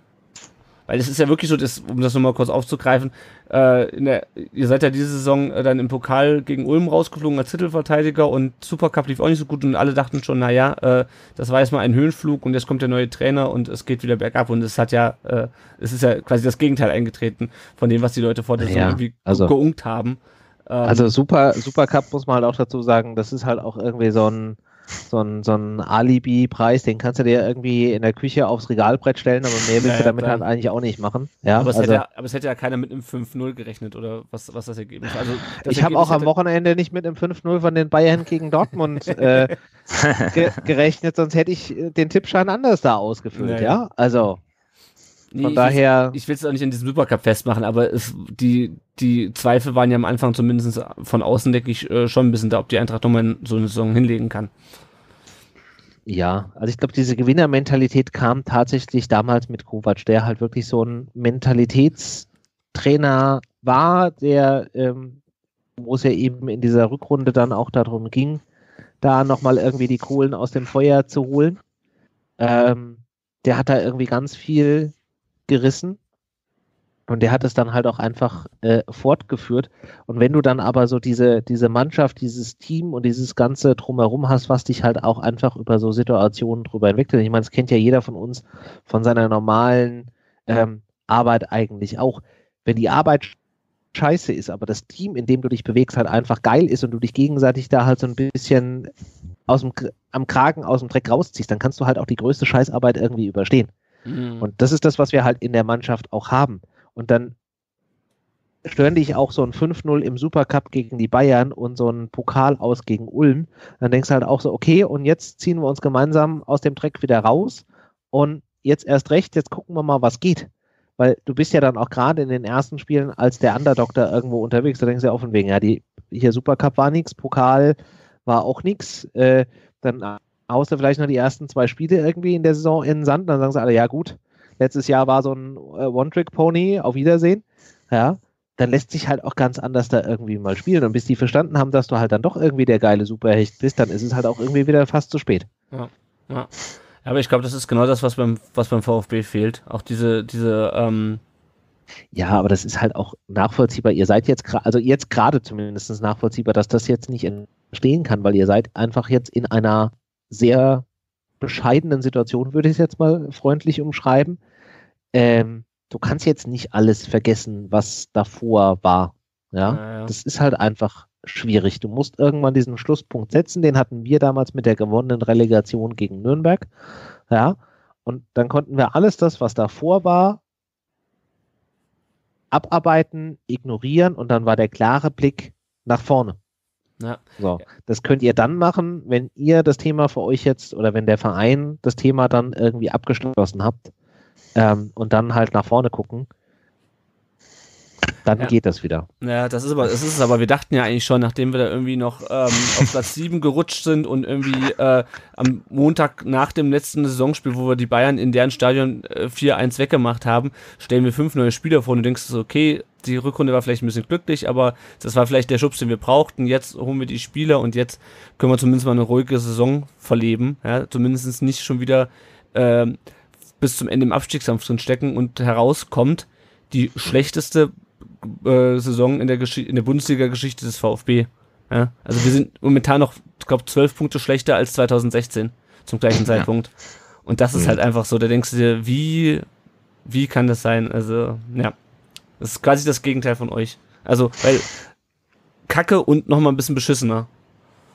Äh, Im Gegensatz zu krass und nochmal eine Spur krasser in der, in der Folgesaison. Mm. Ja. Schwierig. Ja. Janik, möchtest du noch was zu dem Thema loswerden? Ansonsten würde ich sagen, wir äh, widmen uns noch ein paar weiteren Themen rund um den Brustring. Also, das ist natürlich ein Thema, worüber man eine eigene Podcast-Folge machen könnte. Äh, ich wollte es gerade sagen ihr habt das ja jetzt sehr ausführlich oder wir haben das ja jetzt sehr ausführlich besprochen und dem ist nichts hinzuzufügen. Wir hoffen jetzt einfach, dass wir Eintracht Part 2 sind und dann, dass es vielleicht auch einen ähnlichen Weg geht. Das würde ich so unterschreiben. ja. Wir können ja mal gucken. Wir kommen ja gleich noch zu, zu möglichen Trainerkandidaten. Ähm, ja, schauen wir noch auf ein paar weitere Themen rund um den Brustring. Ganz flott. Äh, ganz kurz, René, willst du jetzt dich verabschieden oder willst du noch? Äh, ich würde ähm, die, die Gelegenheit dann in der Tat gerne nutzen. Nicht, dass ich gerne noch mit euch irgendwie plaudern äh, möchte, aber ähm, mein Arbeitgeber hätte gerne, dass ich morgen relativ früh anfange zu arbeiten. Und ich hatte es vorhin schon zum, zum Lennart gesagt, ich weiß auch nicht, aus irgendeinem Grund ist so Schlaf etwas, was ich dann doch irgendwie gelegentlich mal brauche. Ähm, von daher würde ich mich an der Stelle hier verabschieden. Ich bedanke mich vielmals für die Einladung und mit euch ähm, über den VfB äh, sprechen zu können. Ähm, ich muss zugeben, ich hatte immer so einen kleinen, so einen kleinen Faible für den, für den VfB. Ich habe auch noch, glaube ich, irgendwo oben auf dem Dachboden diese, diese äh, CD von diesem äh, Bobic Elba äh, Balakov-Song, den die mal irgendwann aufgenommen haben. Magisches Dreieck. Ja. Also von daher, ähm, so ganz ähm, freuen, also freuen würde es mich nicht, wenn der VfB runtergeht. Ähm, ich glaube schon, dass ihr die Relegation da noch irgendwie packen könnt und äh, drücke euch da die Daumen. Vielen Dank. Danke. Ansonsten, und ähm, wünsche euch ansonsten auch viel Spaß mit all den weiteren Themen, die ihr hier noch so auf der Liste stehen habt. Ich sehe das Dokument ja und gefühlt würde ich sagen, ist da noch mindestens eine Stunde Redebedarf. Hoffentlich nicht. Äh, genau, folgt dem René ähm, unter Rüsseltier bei Twitter mit UE natürlich. Hört den Eintracht Frankfurt Podcast und ähm, ja, René, nochmal äh, vielen Dank, dass du dir Zeit genommen hast heute Abend mit uns da nicht für. Sprechen. Und euch dann noch einen schönen Abend. Danke. Macht's vielen gut. Dank, René. Ja. Mach's gut. Ciao. Gut, Janik, dann machen wir noch schnell äh, den Rest der Folge hier ja. zu Ende. Ähm, genau, die weiteren Themen rund um den Brustring. Nachwuchsmannschaften, VfB hat jetzt gegen Ulm verloren 0 zu 2, hat dann Marc Kienle entlassen als sportlichen Leiter. Ähm, Andi Hinkel ist jetzt neuer Trainer und Michael Gentner sportlicher Leiter der U21. Äh, dann das erste Spiel jetzt am Wochenende gegen Barling 0 zu 0. Äh, der VfB 2 ist jetzt auf Platz 16 abgerutscht. Äh, da Aalen sehr wahrscheinlich aus der dritten Liga absteigt, ist auf Platz 15 Abstiegsplatz und wenn Groß Asbach mhm. auch noch runtergeht, ist es Platz 14. Ähm, ich bin mal gespannt. Wird äh, sehr eng. Ja, Wird sehr, sehr eng. Wie das äh, bei denen ausgeht. Besser sieht es aus bei der A-Jugend. Die haben gegen Ingolstadt 3-1 gewonnen und gegen den FSV Frankfurt 2-1, sind immer noch Tabellenführer. Haben jetzt 5 Punkte Vorsprung auf Platz 2. Äh, spielen jetzt noch gegen Nürnberg und Lautern. Ähm, zu Hause und gegen Freiburg und Hoffenheim auswärts und stehen natürlich im Pokalfinale. Und die B-Jugend hat gegen Ingolstadt und Bayern jeweils mit 3 zu 0 gewonnen, äh, sind jetzt aber auf Platz 6. Äh, die Meisterschaft ist schon futsch, die können die Bayern, die Tabellenführer sind, nicht mehr einholen. Äh, paar sonstige Themen noch. Äh, Maffeo hatten wir schon wieder, äh, hatten wir schon drüber gesprochen. Borna Sosa hat sich dann im der Länderspielpause, die jetzt auch schon ein bisschen her ist, quasi am Tag, nachdem wir darüber gesprochen hatten, in der letzten Folge, warum Borna Sosa nicht mehr eingesetzt wird, ähm, spricht er genau das an äh, und hat dann ein ziemlich dämliches Interview gegeben ähm, in seiner, äh, beim Länderspiel, der Länderspielreise mit Heimat. der kroatischen, genau, dem kroatischen Fernsehen. Ich verstehe das irgendwie nicht, dass Spieler dann immer noch denken, dass das nicht in Deutschland ankommt, äh, wenn die in ihrer ja. Heimatsprache so ein Interview geben. Äh, hat sich halt beschwert, dass, ähm, dass er nicht eingesetzt wird. Und mhm. als er dann zurückkam, gab es dann äh, bei Instagram ein, ein, ein hervorragend, hervorragend Deutsch ähm, geschriebenes Statement. Übersetzer, ja. Ja, genau. Also keine Ahnung. Ich war halt einfach dumm. Ich fand es gut, dass er ihn gegen Nürnberg trotzdem eingesetzt hat, aber das ist halt einfach maximal dumm und da erwarte ich irgendwie von Spielern im, äh, im Jahr 2019, dass sie da ein bisschen pfiffiger sind als so ein Blödsinn. Also, dass er enttäuscht ist, ist klar. Ja. Aber dann, dann soll er es im Training zeigen, aber nicht mit solchen doofen Interviews und ja, er ist eigentlich, auch wenn er jung ist, ist er trotzdem alt genug, um zu wissen, was er damit anrichtet. Punkt ja, aus. Eben. Ja, dann gab es verschiedene Gerüchte um, ähm, um Führungspositionen beim VfB. Das eine ist ein bisschen weniger präsent, da geht es nämlich um den Sportdirektor, den Thomas Sitzelsberger noch sucht. Da ist jetzt äh, der Herr Schwarz, ich habe gerade den Vornamen vergessen, vom FC Augsburg immer noch im Gespräch wohl. Mhm. Äh, Peters, der zuletzt beim HSV war. Und äh, Helmut Schulte, der ja momentan die Leihspieler beim VfB betreut, ähm, ich, also ist klar, es ist natürlich alles Spekulation. Schwarz könnte ich mir ganz gut vorstellen. Äh, der hat, glaube ich, in Augsburg. Stefan Schwarz heißt Stefan, der übrigens. Genau. Ja. Stefan Schwarz. Hat da, glaube ich, nicht den schlechtesten Job gemacht. Ähm, Peters beim HSV. Puh, HSV ist immer. ja, und ich, also der wollte ja damals, glaube ich, den, ähm, wollte den Klinsmann nicht zum Bayern holen oder wie war das? Oder hat er den nicht zum DFB geholt? Das war ja, der war ja früher ähm, Hockey-Bundestrainer. Mm, mm. Aber dem sein Glanz ist irgendwie auch so ein bisschen ähm, verblichen, verblichen. kann man, und es mal vorsichtig zu sagen. Ja. Bei Schulte weiß ich ehrlich gesagt nicht, was er als Sportdirektor und Kaderplaner für, also das sind natürlich alles nur Gerüchte, aber da weiß ich ehrlich gesagt nicht, was er da für Kompetenzen hat. Keine Ahnung. Das wäre wahrscheinlich wieder so diese Stallgeruchlösung, so ja. wie ich es verstanden habe. Ja. ja, genau. Ja, aber so wie ich es jetzt gelesen habe, ich habe mal vorhin auch so nebenbei recherchiert, also der Schwarz gilt wohl schon so als der heißeste Kandidat, Stand ja. heute. Ja, ja, Aber genau. Lassen wir uns überraschen. Ich denke, da wird es dann, wenn auch klar ist, wie es mit dem Verein weitergeht, noch das eine oder andere zu hören sein. Ja, äh, genau, Trainergerüchte gab es auch, nämlich den Herrn Klasner äh, vom, äh, aus Linz. Ähm, ja, keine Ahnung, ob das nur eine österreich-interne Geschichte ist, weil die ja Tabellenzweite sind und man versucht da Unruhe reinzubringen. Ich habe ja lustigerweise, das hatte ich glaube ich schon in unserer internen WhatsApp-Gruppe geschrieben, wir standen am äh, äh, am Samstag nach dem Nürnberg-Spiel im, im Stau vom Vasen runter und da meint plötzlich einer in unserem Auto, ist dort Hittelsberger daneben dran? Ich guck drehe mich so um, saß wirklich Thomas Hitzelsberger im Stau vom Vasen runter, wo ich mir denke, hat er nicht irgendwie äh, so einen Geheimtunnel, mit dem er vom Stadion wegfahren kann? Hat er seinen Wagen echt auf dem Vasen geparkt? Also keine Ahnung. Ob der, ja. also ich hätte es gedacht, dass der irgendwie nach dem Spiel noch irgendwie, äh, gut, es war dann schon irgendwie Viertel vor, Viertel nach sechs oder so, dass ja. der aber noch irgendwie mit der Mannschaft zusammensitzt oder irgendwie keine andere Spiel mit Weinzählen nachbespricht, aber der war irgendwie schon auf dem Weg woanders hin. Äh, keine Ahnung. Was, Vielleicht hat er noch einen wichtigen Termin gehabt, wir wissen es nicht. Und die Verkehrssituation in Stuttgart, die ist wirklich ganz, ganz schlimm. Egal wie du fahren willst. Ja, es kann natürlich auch. Da, ja. Gibt es keinen VIP-Ausgang.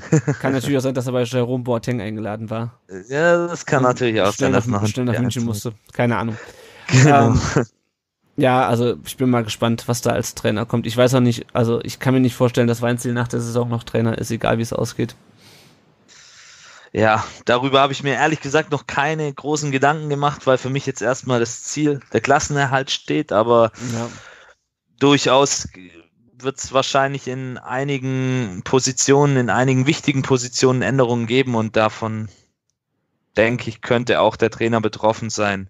Wobei, wie gesagt, ich würde ihm auch zutrauen, eventuell für die neue Saison eine schlagkräftige Mannschaft mit aufzubauen, aber ja, steht auf einem anderen Blatt. Ja, das ist halt die Frage. Ich habe also ein bisschen Angst, dass wir wieder in diesen Fehler reinlaufen, dann denken, ja, das hat ja geklappt und dann wie mit Kork, mhm. dann musst du im Herbst wieder den Trainer rausschmeißen, wie wir das ja für gewöhnlich tun. Ja, Wobei ich den Weinzel dann doch schon für den fähigeren Trainer ja, halte, ja, auf wie jeden den Fall. Korkut. Also das definitiv. Aber lassen wir uns mal überraschen. Wir müssen ja. jetzt mal gucken. Ähm, Diet, unser Herr Dietrich will ja auf jeden Fall bei einem Abstieg bleiben, wo wir bei den Schlüsselpositionen sind. ja. Er meint, vier Heimsiege reichen, ja. Hm. Und einer davon hat schon nicht geklappt. Ähm, hat schon mal nicht geklappt, ja. ja der Ed Bad Pyrmont hat uns gefragt, ähm, mich würde eure Meinung interessieren, warum es nicht analog zum Jahr 2011 eine Aktion VfB 2019 gibt, die sich formiert und nicht nur mit Dietrich Raus das Problem benennt, sondern Lösungen und Wege aufzeigt, vielleicht einen Gegenkandidaten präsentiert und positioniert. Äh, vielleicht gibt es die, äh, ich weiß es ehrlich gesagt nicht, äh, zumindest abgesehen von, äh, gut, das CC hat ja eine relativ ausführliche Stellungnahme geschrieben, aber so eine richtige mhm. Aktion, die sich da sozusagen äh, um Gegenkandidaten bemüht, äh, scheint es bisher noch nicht zu geben. Ähm, ja. Meines Wissens das höre ich jetzt tatsächlich zum ersten Mal, aber so, aber er schreibt ja auch nicht, dass es sowas gibt, sondern er fragt, ob es so, ob's sowas überhaupt gerade gibt oder warum es sowas nicht gibt. Aber ja. ist mir nicht bekannt, ja, es dass ist, es da was gibt. Ne, es ja. ist halt, ist halt schwierig, äh, ähm, was heißt schwierig? Ich glaube, 2011 hatten wir damals auch, ähm, ich weiß nicht mehr, wer ich, war das Rohleder? Ich meine, es hätte auf jeden Fall ähm, auch Helmut Rohleder war es, ja, glaube ich. verschiedene ja. prominente Figuren gegeben, die sich da vorne dran gestellt haben. Und das ist, glaube ich, so ein bisschen die Geschichte, solange, solange sich da keiner vorne dran stellt. Ich meine, Jürgen Klinsmann hält sich ja auch bedeckt und ist ja sowieso ganz beleidigt momentan. Ähm, ja, keine Ahnung. Ich glaube, wenn du nicht so eine, so eine äh, Figur vorne hast, äh, die das so ein bisschen auch mit Prominenz anführt, dann ist das, glaube ich, schwierig. Ähm, das ist schwierig. Das, man hat es jetzt in Hannover gesehen, es kann funktionieren, aber dann muss, muss sich da halt schon eine schlagkräftige Opposition auch bilden. Mit Ex-Spielern. Ja. ja. Und richtig organisiert, genau. Und ich, ich weiß jetzt auch nicht, ob das in der jetzigen Situation noch so förderlich wäre, wenn es da noch irgendwie sowas in der Art gäbe. Ich glaube auch, ich glaube auch, dass wenn du jetzt irgendwie aus der Deckung kommst und äh, dann wird dir nur vorgeworfen, dass du im Abstiegskampf halt Unruhe in den Verein bringst. Und, äh, Populismus äh, wird dir dann einfach vorgeworfen und das ist ja dann auch Wasser auf die Mühlen von Herrn Dietrich, das muss man ja auch fairerweise sagen. Ne. Weil dann sagt er, guckt mal, was, was seid ihr für Fans, dass ihr jetzt in der Situation sowas genau. ansetzt hier. Ja. Naja, genau. Jo, äh, Osan Kabak, auch wenig überraschend, hat beim Abstieg eine Ausstiegsklausel. Das kam jetzt in den letzten zwei Wochen noch raus.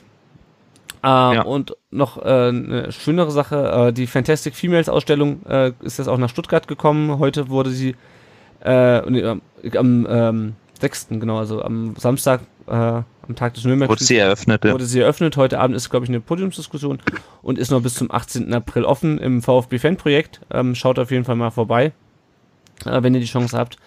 Äh, und diese äh, sehr interessante Ausstellung, die ich leider selber noch nicht gesehen habe, ähm, äh, wenn die in, in, ähm, in Stuttgart ist. Ich schaue mal, dass ich sie mir vielleicht in Mainz angucken kann, weil nach Stuttgart äh, schaffe ich es unter der Woche oder so, glaube ich, bis zum 18. ist nicht mehr. Ähm, ja, und wenn wir noch auf die Ex-VfBler schauen, ähm, Takuma Asano ist ja nach Hannover ausgeliehen die Saison, darf aber jetzt für den Rest der Saison nicht mehr spielen. äh, hat äh, Thomas Soll hat eine schriftliche Anweisung von ähm, von Martin Kind, weil wenn er jetzt noch so und so viele Minuten ähm, mehr spielt, dann müsste Hannover ihn verpflichten für was? Dreieinhalb Millionen oder sowas? Dreieinhalb Millionen. Ja, und das möchten ja. sie bei dem fast sicher stehenden, fast feststehenden Abstieg äh, vermeiden, äh, zumal Asano, ähnlich wie bei uns, das auch nicht so wirklich gezeigt hat, dass er Erstliga tauglich ist. Ähm, ja, aber es ist schon irgendwie komisch. Bin mal gespannt, wo der nächste Saison landet. Ob Arsenal den nochmal verleiht oder, na, na, mal schauen. Jo, ähm, dann sind wir auch schon fast am Ende. Die üblichen Hinweise noch für euch. Äh, wir freuen uns natürlich, wenn ihr uns finanziell unterstützt. Das könnt ihr auf Patreon tun, schon mit einem kleinen monatlichen Beitrag, der uns sehr viel hilft. Damit äh, decken wir beispielsweise die laufenden Kosten, die hier so äh, entstehen, äh, für, den, für den Server Space und für die Nachbearbeitung des Podcasts. Äh, ihr könnt uns auch bei, ähm, bei PayPal unterstützen, äh, mit Beträgen in jedweder Größe. Äh, wir haben drei Unterstützer bei Patreon, die uns mit 5 Euro im Monat unterstützen. Das ist das Timo Hildebrand Level. Äh, und damit dürfen sie auch in jeder Folge genannt werden. Das sind Matthias, Ron und Christoph. Und ähm, ja, beim Tippspiel, da schauen wir da noch kurz drauf. Äh, Prinz Poldi, immer noch der geilste Name, führt die Tabelle an mit 365 Punkten. Unfassbar. Seba 352 und Bernd 1893 mit 347. Äh, ich gucke mal, ich habe Nee, ich will gar nicht gucken. Ich habe sieben Punkte beim letzten Mal. Ich äh, tippe, das, das, Problem ist, dass ich grundsätzlich nicht für äh, Red Bull und äh, VW und, und, und Hoffenheim ja. tippe und grundsätzlich auch keine Niederlage für den VfB und dann ist es halt irgendwann schwierig mit den Punkten. Dann ist die Quote im Eimer, das kannst du dann vergessen. Wenn du dir dann die Tabelle anguckst. Ja, ähm, ja. ihr könnt uns natürlich auch äh, anders unterstützen als finanziell. Wir freuen uns sehr, wenn ihr uns bei Apple Podcast eine Rezension da lasst und fünf Sterne. Wenn ihr uns was da lasst, dann lesen wir das hier auch gerne vor. Ansonsten äh, gerne auch den Leuten weiter sagen, dass es uns gibt. Erklärt den Leuten, was ein Podcast ist, wie man das runterlädt. Ihr findet uns mittlerweile nicht nur in jedem Podcatcher, den es gibt, sondern auch auf Spotify. Äh, man kann sich die Folgen bei YouTube äh, anhören. Der René hat das ja vorhin kurz schon angesprochen. Den Eintracht Frankfurt Podcast kann man auf YouTube hören. Äh, uns auch, auch zwei Stunden lang. Ansonsten findet ihr uns wie gewohnt auf unserem Blog rund um den Brustring.de, auf Facebook, Twitter und auch auf Instagram. Äh, folgt uns da, teilt unsere Beiträge. Da würden wir uns sehr freuen, wenn ihr uns auf diesem Weg unterstützt. Und wenn ihr Teil dieser Podcast-Folgen sein wollt, dann gibt es die Möglichkeit auch. Und zwar könnt ihr uns eine Sprachnachricht schicken an die 0157 511 08680. Das ist die Nummer, die steht auch auf unserer Webseite. Äh, schickt uns einfach eine Sprachnachricht, äh, die spielen wir dann mit eurer Erlaubnis hier ein und diskutieren drüber. Äh, und so könnt ihr dann auch Teil dieser Podcast-Folge sein. So, Janik, jetzt haben wir es mal wieder geschafft. Äh, wir sind mal wieder nicht unter zwei Stunden geblieben, wobei, wenn ich ja. vorne noch ein bisschen was wegschneide, vielleicht schon. Äh, aber meine Aufnahme zeigt hier zwei Stunden fünf an. Die nächste Folge werden wir aufnehmen äh, nach dem Spiel in Augsburg. Also wie gesagt, jetzt am Samstag geht es gegen Leverkusen. Mhm. Und dann am Osterwochenende nach Augsburg. Wir werden in der Woche nach Ostern wieder aufnehmen. Ähm, ja, vom René haben wir uns schon verabschiedet. Ja. Es bleibt noch euch äh, zu danken fürs Zuhören. Und äh, wir hören uns in zwei Wochen wieder. Tschüss. Vielen Dank, schöne Ostern euch. Ciao.